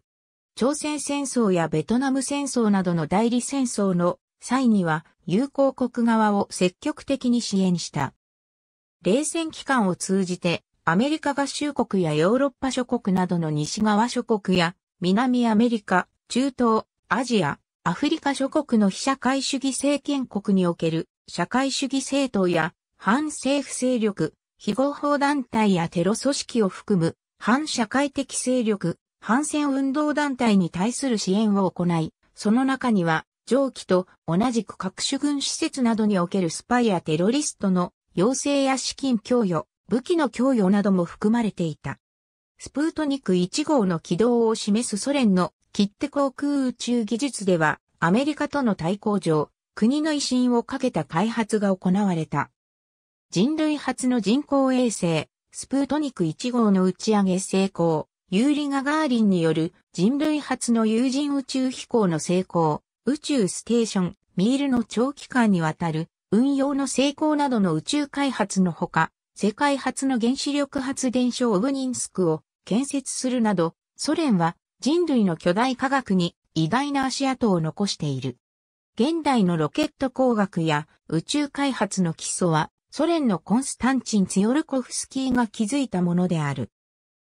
航空機でもミコヤン・グレビッチ設計局、イリューシン設計局、ツポレフ設計局などによって独創的な機構が開発されたが、経済効率や品質の向上には無頓着なままで、国内と衛星国以外ではほとんど採用されなかった。これらの宇宙研究や原子力研究は関係者以外の立ち入りを許さず、地図にも記載されない閉鎖都市で行われることがあった。一方で工業以外の研究では遅れが目立った。特にスターリン時代では科学的見地よりイデオロギーが優先されることがしばしばであり、特にルイセンコの提唱したルイセンコ理論などにより、ソ連の農業は壊滅的な被害を受け、輸入国に転落した。計画経済による工場の建設や開発は、時として実情を無視したものとなり、利益面や環境面で失敗することもたびたびであった。このため、地域によっては、土壌や河川に深刻な環境破壊が発生し、多くの人が健康被害を受けることになった。さらに、チェルノブイリ原発事故に代表されるような官僚的な隠蔽体質はこれらの被害を表面上は追い隠し、被害を拡大させた。特に、アラル海の開発計画は20世紀最大の環境破壊と呼ばれる事態を引き起こした。また、時には土木工事などに国家経済のための核爆発が使用されることすらあった。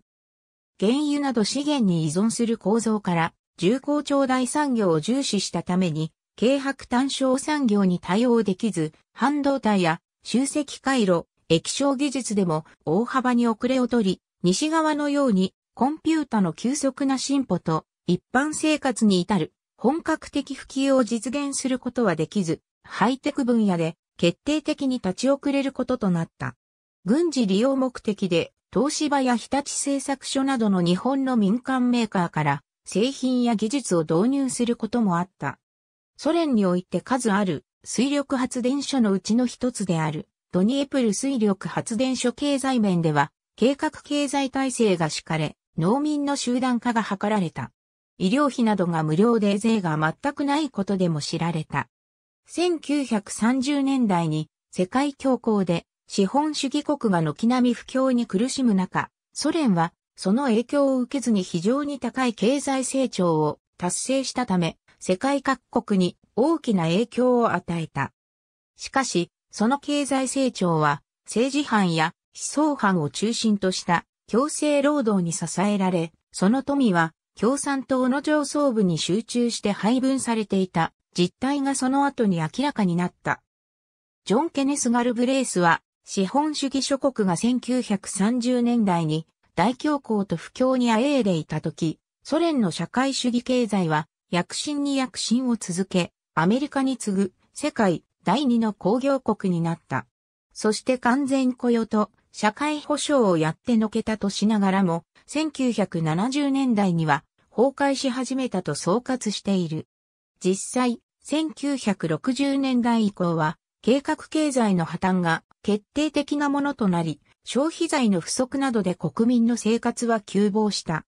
流通の整備が遅れたため、農製品の生産が十分にあったとしても、それが消費者の手元に届けられるまでに腐敗してしまうこともあった。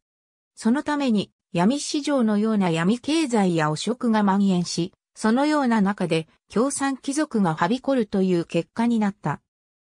1930年代のアルメニアにて、綿花の収穫ソ連の農業は、気候条件の厳しさから農業に適した地域は比較的限られており、また、各共和国にモノカルチュア的な生産を割り振ってきた結果、ウクライナやベラルーシ、ロシアの国土地帯、コーカサス地帯などでは主要な作物は小麦等の穀類や飼料作物、じゃがいも、ひまわり、果樹、野菜、シベリアでは穀類が中心、極東では大豆、中央アジアはメイン化であった。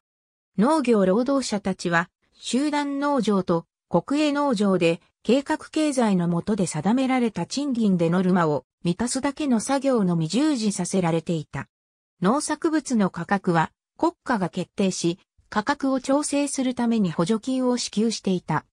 これらが労働意欲を減退させ、農業生産性を極端に低くし、1970年代からは肉類、穀物の工場的な輸入国になり農業はソ連のアキレス腱になった。ロシア革命時、農村は人口の80%を占めていたはずなどを含む戦時共産主義によって荒廃し、特にウクライナで数百万人とも言われるが死者を出した。そのため1921年に穀物の強制徴発を廃止した新経済政策、ネップにより農業は戦前の水準を回復したが、穀物の調達は困難になっていった。そこで1928年、スターリンは農業集団化を実施し、低賃金で酷使される集団農場と国営農場に改変された。クラークとされた勤勉な農民900万人は追放され、半数は処刑され残りは強制収容所に送られた。穀物の調達量は増加したが、生産は低下し、1931年から1933年にかけて700万人が餓死した。抵抗した農民たちも最終的には工業労働者となったり集団農場に組織されたりした。1941年に独ソ戦が始まると農村は壊滅的な打撃を受け、戦後も戦前と同様の経済体制を維持しながら戦後復興に着手したため、1946年から1947年かけて100万人以上が餓死し、多くが離農した。1953年、スターリンの死後、フルシチョフはカザフスタンや西シベリアなどの未開墾地、工作放棄地の開拓事業を提案し、諸女地からの穀物の収穫が試みられた。1955年から数年の間は諸女地の収穫物によって穀物の不足は一時的に解消されたが、類線コ理論や農地の砂漠化で、諸女地が不作に陥ると穀物は再び欠乏し国外から輸入するようになった。フルシチョフ失脚後も集団農場の生産性は上がらず、1980年代には集団請負制を導入するも、コルホーズ内のわずかな自流地では支えきれない大量の食料をアメリカから輸入していた。東西対立の世界構造の中で、軍需産業に高い技術と莫大な資金を投じることで、軍民転換が遅れ、冷蔵庫や洗濯機、乾電池や電子レンジなどの国民生活に必要な電化製品や石鹸や洗剤、シャンプーやトイレットペーパー、鉛筆やボールペンなどの一般消費財、タバコや清涼飲料水などの嗜好品の開発と生産、物流の整備はおろそかにされ、西側諸国に比べ技術、品質ともに比べ物にならない低レベルの電化製品でさえ入手するために数年待たなければいけないというような惨憺たる状態であり、これはリチャード・ニクソンとの台所論争でもアメリカからやり玉にされた。さらにほとんどの電化製品や自動車の技術は西側諸国の技術より数十年遅れていたと言われている上、その多くがフィアットやパッカードなどの西側の企業と提携し、旧型製品の技術供与を受けたもの、もしくは西側製品の無断コピーや第二次世界大戦時にドイツ国内から接収、略奪したオペルの生産工場施設からの技術の流用であった。また、電化製品や一般消費財、嗜好品や自動車は市場における競争に勝ち残るために西側諸国では頻繁に行われていた新製品の開発や市場投入、改良や価格改定はほとんど行われず何も改良されないまま30年以上にわたり同じ製品が製造されていた。自動車の個人所有は共産党幹部などの限られた階級の人間に限られそれ以外の階級のものが手にするためには、電化製品、同様数年待たなければいけない状態であった。まして労働者階級が、ジルやボルガなどの高級車や、レオニード・ブレジネフなどが愛用したシトロエンなどの西側諸国からの輸入車を所有することは事実上不可能であった。上記のように電化製品や消費財、工作機械や自動車などの技術や品質が西側諸国のそれに対して決定的に劣っていたことから、西側諸国に対しての輸出は農産物や魚介類などの第一次産品や原油や天然ガスなどのエネルギー資源が主であった。また、通貨のルーブル自体が国外で通貨としての価値が低かったこともあり、エネルギー資源の貿易がある国を除いては、西側諸国との貿易収支は概ね赤字であったか、非常に少ないものであった。それに反して、衛生国や社会主義国との間の貿易は、それらの多くの国の外貨が乏しかったことや、ココムなどの貿易規制により西側諸国からの貿易品目が制限されていたことから、一次産品やエネルギー資源はもとより、西側諸国では相手にされなかった電化製品や消費財、工作機械から自動車、航空機などの軍事物資に至るまでが輸出された。1975年の国別工作機械生産額でもソ連は世界3位である。その多くが事実上の援助品とあるいは相手国の一時産品とのバーター貿易など無償に近い形で供給された。1930年からペレストロイカ実施まで商業手形が廃止されていたので流通、割引がなく、取引はゴスバンクで集中決済された。西側諸国の電化製品や化粧品、衣類などの消費財の輸入、流通は原則禁止されていたものの、モスクワなどの大都市のみに設けられたグムなどの外貨専用の高級デパートで入手することが可能であった。しかし、実際にそれらを購入することができるのは外国人か共産党の上層部とその家族だけであった。そのため、マールボロのタバコやリーバイスのジーンズなど多くの西側製品が闇ルートで流通していた。会計も社会主義に基づいて進められ、会計士は計画経済を進める最高国民経済会議のために働くこととなった。国営企業の会計責任者は、貸借対照表と会計報告書を作成して、会計を組織する責任を負った。中央集権化と集団農場化が進んだ1930年代からは、スターリン主義者によって会計学は個別企業のみを対象にしていると批判され、スターリン主義に批判的な会計士は活動の場を奪われ、ソ連財務省と中央統計局が会計の指導と監督を行うようになった。会計人は中央省庁の計画をもとに実務を行う簿記係と上級機関に責任を持つ会計担当者に分かれた。経営の改善や専門家としてのイニシアティブを発揮する余地はなくなり、会計は硬直化した。1960年代からは経済改革による文献化が始まり、計画経済や企業管理において利潤、原価、価格、利子なども評価されるようになり、会計士は科学技術協会に所属して専門家として活動した。都では資本主義諸国の会計の取り入れも検討された。1980年代後半のペレストロイカから民営化や市場経済化が始まり、西側諸国との合弁企業で、市場経済の会計が部分的に導入され、企業の営業秘密が認められた。1991年のソ連の崩壊後は、市場経済化がさらに進み、ロシアでは公認会計士にあたる監査士が国家資格化された。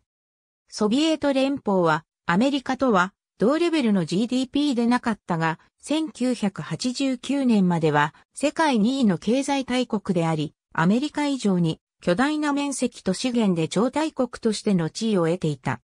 アメリカと対等レベルの核兵器を保有していると見られていたために、直接対決だと共倒れを招くために、自国の軍事行動にアメリカを介入させることはできなかった。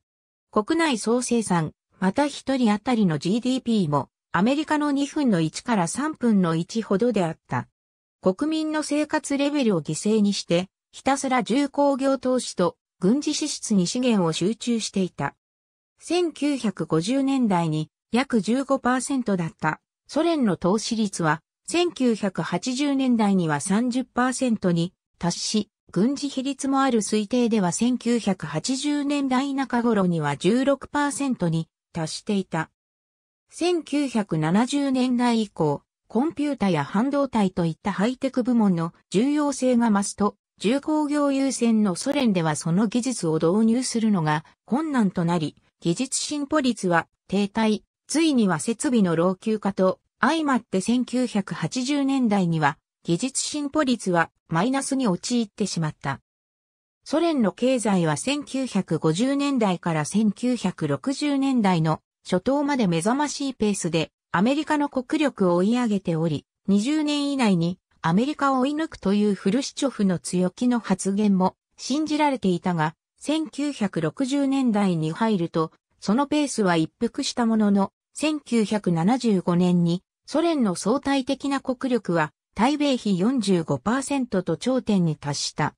しかしその後は衰退局面に入り、逆にアメリカとの相対的な国力の差は拡大していった。ソ連崩壊後、ロシアの軍事力と経済力は急激に衰え、アメリカとは一人当たりの GDP と軍事費において大きく差をつけられた。さらに、経済混乱の影響で国民は最低限の生活も保障されず、貧しさで苦しんだため、親米的でペレストロイカを行ったゴルバチョフをアメリカに魂を売った売国奴や裏切り者と酷評する声も多い。国民は自分の在住している地域以外への遠距離移動が事実上限られていただけでなく、国外からの旅行者のソビエト国内における移動に大幅な制限があったため、国内外の交通に対する需要は非常に限られていた。鉄道網は長距離や近距離を問わず軍事転用が容易なことから、比較的整備が進んでいたが、西側諸国と違い個人所有の自動車の数が限られていたことから、高速道路やガソリンスタンド、レンタカーなどの自動車インフラは貧弱なままであった。西側諸国への個人的理由での渡航は、亡命と外貨流出を防ぐということを主な理由に原則的に禁止されており、国交がある国であろうがなかろうが、当局の許可がない限り渡航は不可能であった。許可が下りた場合でも様々な制限があり、個人単位の自由な旅行は不可能であった。しかしながら、国力と友好関係を誇示することを目的に、国外への航空機や船舶による定期便は比較的整備されていた。アエロフロート国内戦ソ連時代のアエロフロートの旗広大な国土は主に航空機によって結ばれていた。国内の航空路線網は唯一にして最大の航空会社でナショナルフラッグキャリアである国営のアエロフロートソビエト航空によって運航されており、長距離国際線から国内幹線、航空機によってのみアクセスが可能な僻地や舗装された滑走路が整備されていない地方空港への運航が可能なように超音速旅客機を含む大型ジェット機からターボプロップ機、小型服用機や大型貨物機まで様々な機材を運航していた。使用機材のほとんどはイリューシンやツポレフ、ヤコブレフなどの国産機材であったが、一部はチェコスロバキアやポーランドなど東側友好国の機材も導入されていた。なお有事にはそのまま軍事利用できるように、一部の機材は重座が残されたまま運行されていた。国際線ビ部に重座を残したアエロフロートのイリューシンイル -76 同じく国際線もアエロフロートによってものみ運行されていたが、ソビエト国民の海外渡航や国外からの旅行者のソビエト国内における移動には大幅な制限があった。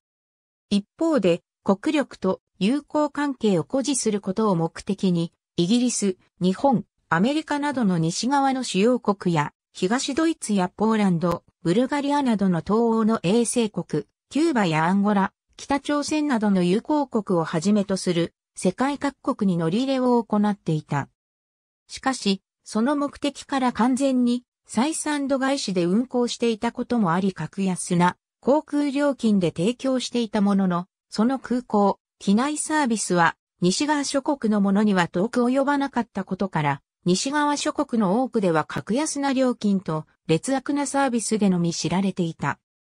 海外からは多くの友好国の航空会社がモスクワやハバルフスクなどの大都市を中心に乗り入れていたほか、アメリカ、イギリス、日本、西ドイツなどの西側諸国からも、パンアメリカン航空、英国海外航空や日本航空、ルフトハンザドイツ航空などの航空会社が乗り入れていた。西側諸国に乗り入れた際には、航路から外れて軍事基地や港湾施設の近くを飛ぶことも多々あったと報告されており、そのため航空自衛隊の基地と併設している千歳空港への乗り入れを拒否されていた。さらに流進イル -76 などはビブに重座を残したまま運行されていた機材もある。日本との間は日本航空とアエロフロートが東京、新潟とモスクワ、ハバルフスク、イルクーツクとの間に定期便を運行しており、一部路線においては日本航空とのコードシェア運行も行われていた。シベリア鉄道を代表とする鉄道網によって各都市が結ばれていたほか、衛星国を中心とした近隣諸国に国際列車も運行されていた。なお、モスクワやレニングラードなどのいくつかの大都市には、防空壕を兼ねた地下鉄網が整備されており、社会主義建設の成功を誇示する目的で、スターリン時代に建設された一部の駅構内は、宮殿のような豪華な装飾が施されていた。個人による自動車の所有だけでなく、自分の在住している地域以外への遠距離移動が事実上限られていたこともあり、西側諸国で行われていたような高速道路による国民の自由な移動は一般的なものではなかった。なお、大都市の市街地にはトロリーバスを含むバス路線網が張り巡らされていた。国内蒸気のように外国の放送の傍受が禁止されていた上、テレビやラジオ、新聞などのマスコミによる報道は共産党の管制下に置かれ、国家や党にとってマイナスとなる報道は1980年代にグラスのスチが始まるまで流れることはなかった。このような規制は外国の事件やチェルノブイリ事故や大韓航空機撃墜事件のような国際的に影響がある事件に対してだけでなく、国内の政治、経済的な事件も、党幹部の粛清や地下鉄事故、炭鉱事故のような事件に至るまで、それが国家や党に対してマイナスの影響を与えると判断されたものはほとんど報道されることがなかったか、仮に報道されても国家や党に対して有利な内容になるよう歪曲されていた。そのため、西側の国でオリンピックなどがあると、そこで初めて真実を知ったソ連の選手や関係者がそのまま亡命希望するケースが頻発した。ロシア革命以前の支配者のニコライ2世やその家族を裁判なしに銃殺した真実を明らかにしようと、1979年に地質調査隊が皇帝一家の遺骨の発掘を行ったが、KGB に逮捕された事例がある。しかしソ連崩壊後に、ロシアでは70年以上も隠蔽されたこの事実が明らかになり、ロシア革命から80年を経た1998年に葬儀が行われた。国外西側諸国の報道機関の特派員は、基本的に国内を自由に取材、報道することは禁じられており、事前に申請が必要であったがその多くは却下され、たとえ許されたとしても取材先の人選や日程は、すべてお膳立てされたものに沿わなければならなかった。モスクワオリンピックなどの国際的イベントや西側諸国の首脳陣の公式訪問が行われる際にソ連を訪れた報道陣に対しては、このようなお膳立てされた取材スケジュールが必ず提供された。西側諸国の報道機関で働くソビエト人従業員も自主的に選択することは許されず、当局から当てがわれたものを受け入れるのみとされ、その多くが西側諸国の報道機関やその特派員の行動を当局に報告する義務を負っていた。国内における報道管制の一環として、共産党書記長などの党の要人が死去した際には、党による正式発表に先立ち、テレビやラジオが通常の番組を急遽停止し、クラシック音楽もしくは第二次世界大戦戦士などの歴史の映像に切り替わり、クレムリンなどの要所に掲揚されている国旗が半旗になるのが習わしであった。このため、国民の多くはテレビやラジオの番組が変更され、要所に掲揚されている国旗が半旗になるたびに、モスクワ市内の政府の建物や病院、軍施設などを訪れ情報収集に努めた上に、これらの対応を見て、どの階層の要人が死去したかを推測し合っていたと言われている。さらに、党の要人が失脚した際には、その事実が即座に政府より正式発表されることは稀で、このため西側諸国の情報機関員や報道機関の特派員は、メーデーなどをはじめとする記念日のパレードの際に、クレムジンの赤の広場の台の上に並ぶ要人の立ち位置の変化や、新聞やテレビ、ラジオニュースでの扱い回数や順番を観測し、失脚などによる党中央における要人の序列の変化を推測し、これをクレムリのロジーと呼んでいた。ソビエト連邦のプロパガンダは現代の手法を先駆けるものであり、ソ連は世界初の宣伝国家と呼ばれる。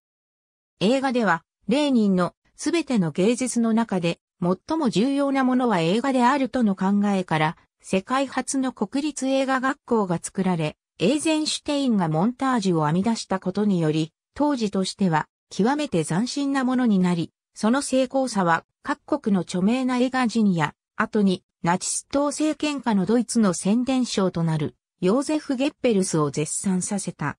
宣伝映画を地方上映できるよう移動可能な映写設備として映画館を備えた列車、船舶、航空機が製造、活用された。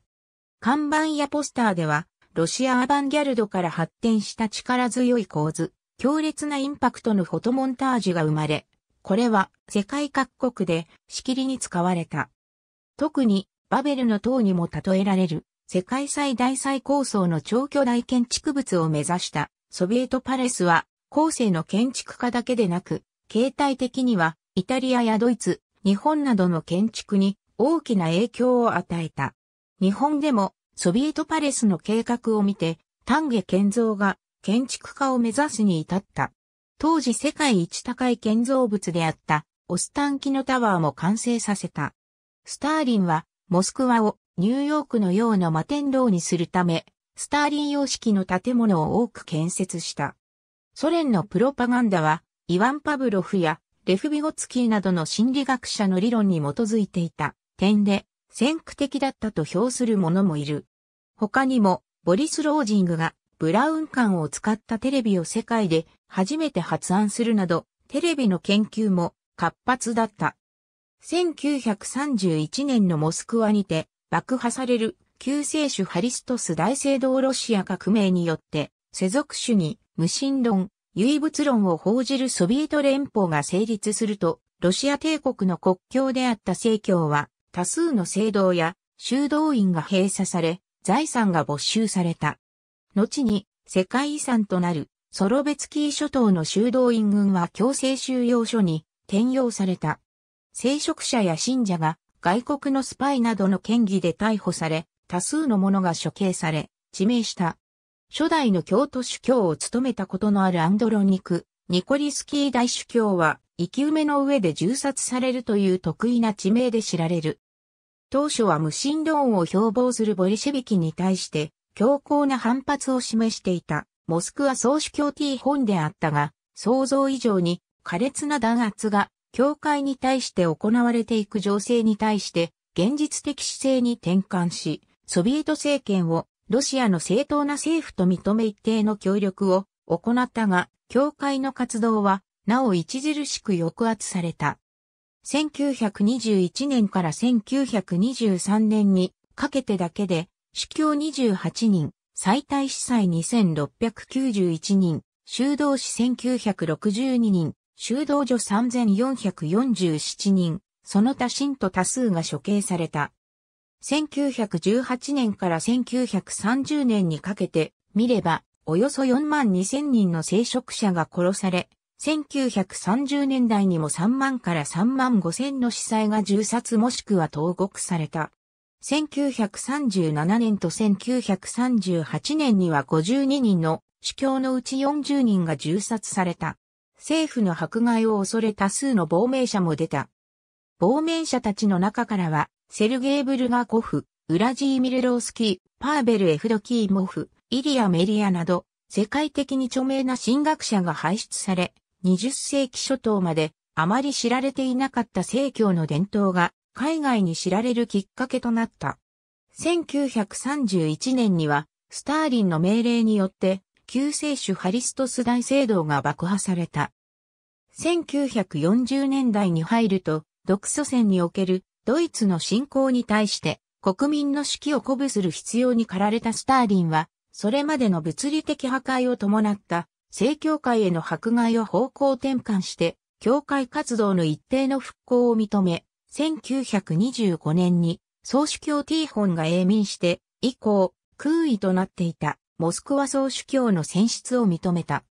この際に、それまで禁止されていた教会関連の出版物が極めて限定されたものではあったものの認められ、1918年から閉鎖されていたモスクワ神学アカデミーは再開を許可された。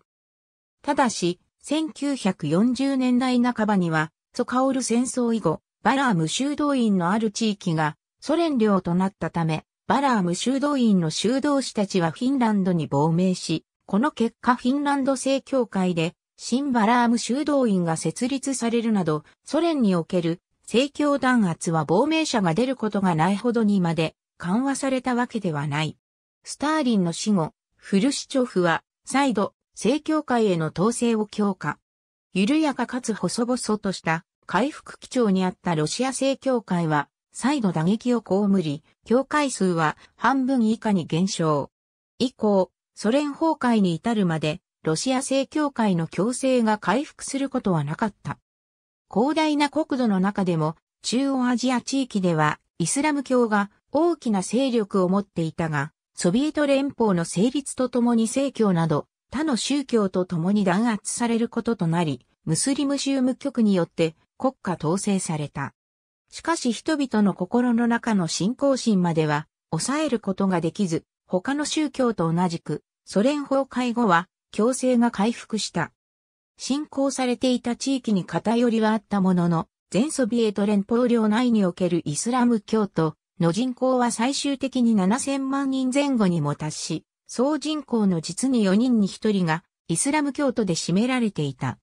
この数字はイラン、トルコ、エジプトなどの総人口にも匹敵し、ソビエト連邦は総人口においても、国民に占める割合においても、非イスラム教国家としては最大級のムスリム人口を抱える国家となっていた。イスラムが多数派の地域以外のロシア連邦などの諸州においても、イスラムを背景に持った諸民族、特にタタール人、アゼルバイジャン人が全土に居住し、ソビエト連邦内のどの地域においても一定数のイスラム社会が存在していた。この点は同じ非イスラム教国でありながら、全土にイスラム社会を内包しているインドや中国とも共通していた。ただ、ソビエト連邦におけるイスラムは中国やインドとは異なり、多数派民族と文化、言語、血統、形質などを共有する集団、具体的に言えば、スラブ系のロシア人などと文化や言語を共有する集団の間にはあまり広まらなかった。ソビエト連邦内のイスラムはあくまでトゥルク系やイラン系、コーカサス系などの異民族の間で主に信仰されていた。全土に幅広く分散していたイスラム系民族のうち、タタール人の間にはスンニー派が多く、アゼルバイジャン人の間にはシーア派が多いため、両派が近い比率で全土に散らばっていたこともユニークである。この点はソビエト連邦崩壊後もロシア連邦において引き継がれている。正教のみならず他のキリスト教であるカトリック教会、聖公会、プロテスタントも弾圧を受けた。日本の創価学会に関しては、ソ連国内における布教活動自体は認めなかったが、外交的及び経済的見地から友好関係を保っていた。とりわけ、池田大作会長が1974年以降にソ連訪問を繰り返すようになると、政府や党の要人が面会に応じるのが慣例だった。1974年、1975年の放送では、湖水銀、1981年の放送では、チーホノフ、1987年の放送では、ルイシコフ、1990年の放送では、ゴルバチョフと面会している。ちなみに、池田名誉会長と最高指導者との面会が行われたのは、ゴルバチョフ政権時代の1990年だった。1930年代のソ連の流行歌である、エンスージアスト、エスマーチ言論、表現の自由がなかったため、文学者の中には、亡命を余儀なくされるものや、ノーベル文学賞受賞のボリス・パステルナークのように、受賞自体を余儀なくされるもの、同じく、ノーベル文学賞受賞のソルジェニーツィンのように、国外追放される者がいるなど、文化人にとっては、受難が相次いだ。革命直後のソ連では、革命的な前衛芸術が流行し、抽象芸術や構成主義が生まれ、ロシアアバンギャルドは共産党のいわば公認芸術として革命思想を宣伝するプロパガンダポスターに広く採用された。当時のソ連は世界初の電子音楽機器テルミンが作られ、モンタージュ理論が生まれるなど前衛芸術のメッカと化しており、外国から不遇だった多くの前衛芸術家がソビエト連邦の建設に参加した。例えば、前述したソビエトパレスの計画には、ルコルビュージエ、バルターグ・ロピウス、エーリヒ・メンデルスゾーン、オーギュスト・ペレ、ハンス・ペルツヒといった新進気鋭のモダニズム建築家たちが関わった。レーニン自身もダダイストだったという学説も出ている。フセボロドメール・ホリドがアジプロ演劇手法の確立、古典の斬新的解釈に基づく演出、コメディア・デラルテ、サーカスなどの動きと機械的イメージを組み合わせた身体訓練法、ビオメハニカの提唱などを次々と行い、1920年代におけるソビエトロシア演劇はもとより20世紀前半の国際演劇に大きな影響を与えた。スターリン政権下の1932年に行われたソ連共産党中央委員会にて、社会主義リアリズムの方針が提唱されて、以降は1930年代前半のうちに文学や彫刻、絵画などあらゆる芸術分野の作家大会で公式に採用されるに至り、これにそぐわぬものは制限され、次第に衰退することを余儀なくされた。一方でバレエなどのロシアの伝統的な芸術は、政府により潤沢な予算が投じられたことで、高い水準を維持し、クラシック音楽でも当局による制限を受けながら、ショスタコービチらが作品を残し、ムラビンスキー率いるレニングラードフィルハーモニー交響楽団などが演奏を残している。バレエ団やオーケストラは共産主義の理想を広めるためとして海外公演を行っていたが、実際には外貨の獲得が主目的だったとされる。ソ連崩壊後は存続が難しくなり、オーケストラが解明したり団員が独立したりするなどして幽霊オーケストラが多数誕生した。またアナトリー・ベデルニコフのように当局に敬語しない演奏家は海外公演を制限された。映画ゲームアニメ社会主義体制が描かれている作品西側諸国で人気のあったロックンロールやヘビメタル、ジャズなどの音楽やハリウッド映画などの大衆文化は商業的で大敗を招く幼稚なものとして規制され、わずかに北ヨーロッパ諸国や西ドイツなどのポピュラー音楽や衛星国や日本、イタリアなどの芸術的要素の高い映画のみが上映を許されていた。また、外国のラジオ放送を傍受することも禁止されていた。運動競技では国の威信をかけた強化策が取られ、選手育成プログラムによって育成させられた選手がオリンピックで数多くのメダルを獲得していた。特にアイスホッケーやバレーボール、バスケットボール、ホッケーなどの強豪国として知られ、オリンピックのメダル獲得数がほとんど首位であった。しかし、崩壊後にそれらの選手の多くが違法ドーピングなどによる薬漬け状態であったことが当事者の告白により明らかになった。それらの記録は今もなお剥奪されずに現存している。共産主義というシステム上、すべてのスポーツ選手が国家の管理下におけるステートアマであるという位置づけであり、よって資本主義諸国のようなプロスポーツ及びプロ選手は存在しなかった。1980年にソビエト連邦の歴史上唯一の夏季オリンピックであるモスクワオリンピックが行われた。冷戦下ということもあり、国の総力を挙げてオリンピックの成功を目指したものの、前年に行われたアフガニスタン侵攻に対する抗議という名目で、日本や中華人民共和国、西ドイツ、アメリカなどがボイコットを行い事実上失敗に終わった。しかし、これ以降ソビエト連邦の崩壊までの間夏季、冬季ともにオリンピックが再び行われることはなかった。そして次回1984年開催されたロサンゼルスオリンピックでは1983年のアメリカ軍によるグレナダ侵攻への抗議という名目でソビエト連邦と東ドイツのメダル王国をはじめ、ソ連の衛星国である東側諸国の多くがボイコットした。識字率が30%であった革命直後から数十年で87%に改善させ、戦後にほぼ100%を達成させるなど、基礎教育は充実していた。さらに国威発揚のため専門のトレーニングへの公的な補助が行われた結果、数学オリンピックなどの頭脳系スポーツでは強豪国となった。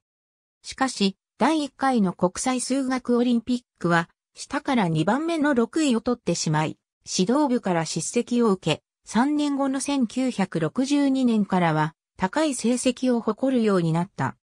特にチェスは伝統的に盛んで国民にとっても公認されている数少ない娯楽であったが、ソ連時代には国が管理するチェス学校が各地に建設され、体制が崩壊するまでは世界最高の水準を保っていた。また、国内選手権の開催や書籍の出版なども盛んだった。ちなみにコンピュータチェスの研究も盛んで、第1回世界コンピュータチェス選手権でもソ連のプログラムが優勝し、人工知能の権威ジョン・マッカーシーとアラン・コトック、率いる MIT とソ連のモスクワ理論実験物理研究所によって行われた世界初のコンピュータ同士のチェス対戦でも勝っている。チェス界ではプロとアマの区別がないため、ミハイル・タリやミハイル・ボトビニク、ガルリカ・スパロフなどソ連出身の選手が世界王者を長期にわたって独占していた。一時期は国際大会に出られなかったグランドマスター級の国内選手に対し、ソ連のチェス協会がソ連邦グランドマスターという独自のタイトルを創設したこともあったが、次第にトップ選手ならば試合渡航も許可されるようになった。しかし有力選手がこれを利用して亡命することもあった。特にビクトール・コルチノイは亡命後、西側の選手としてアナトリー・カルポフらソ連代表と国際大会で対戦したことがあり、ソ連側から非難を受けることとなった。ソ連代表と西側の選手がチームで対戦することもあったが、特にボリス・スパスキーとアメリカ人のボビー・フィッシャーが対戦した1972年の世界王者決定戦は試合の進行をめぐり、クレムリンやホワイトハウスが介入するなど政治的な問題にまで発展することがあった。また敗れたスパスキーはその後の待遇悪化などで1975年にはフランスへ亡命した。体制崩壊後は西側へ拠点を移す選手もいたが、ウラジーミル・クラムニクなど、ソ連時代のチェス学校で教育を受けた選手が多数活躍している。旧東ドイツや近隣の東欧諸国でもソ連と似た状況にあった。ありがとうございます。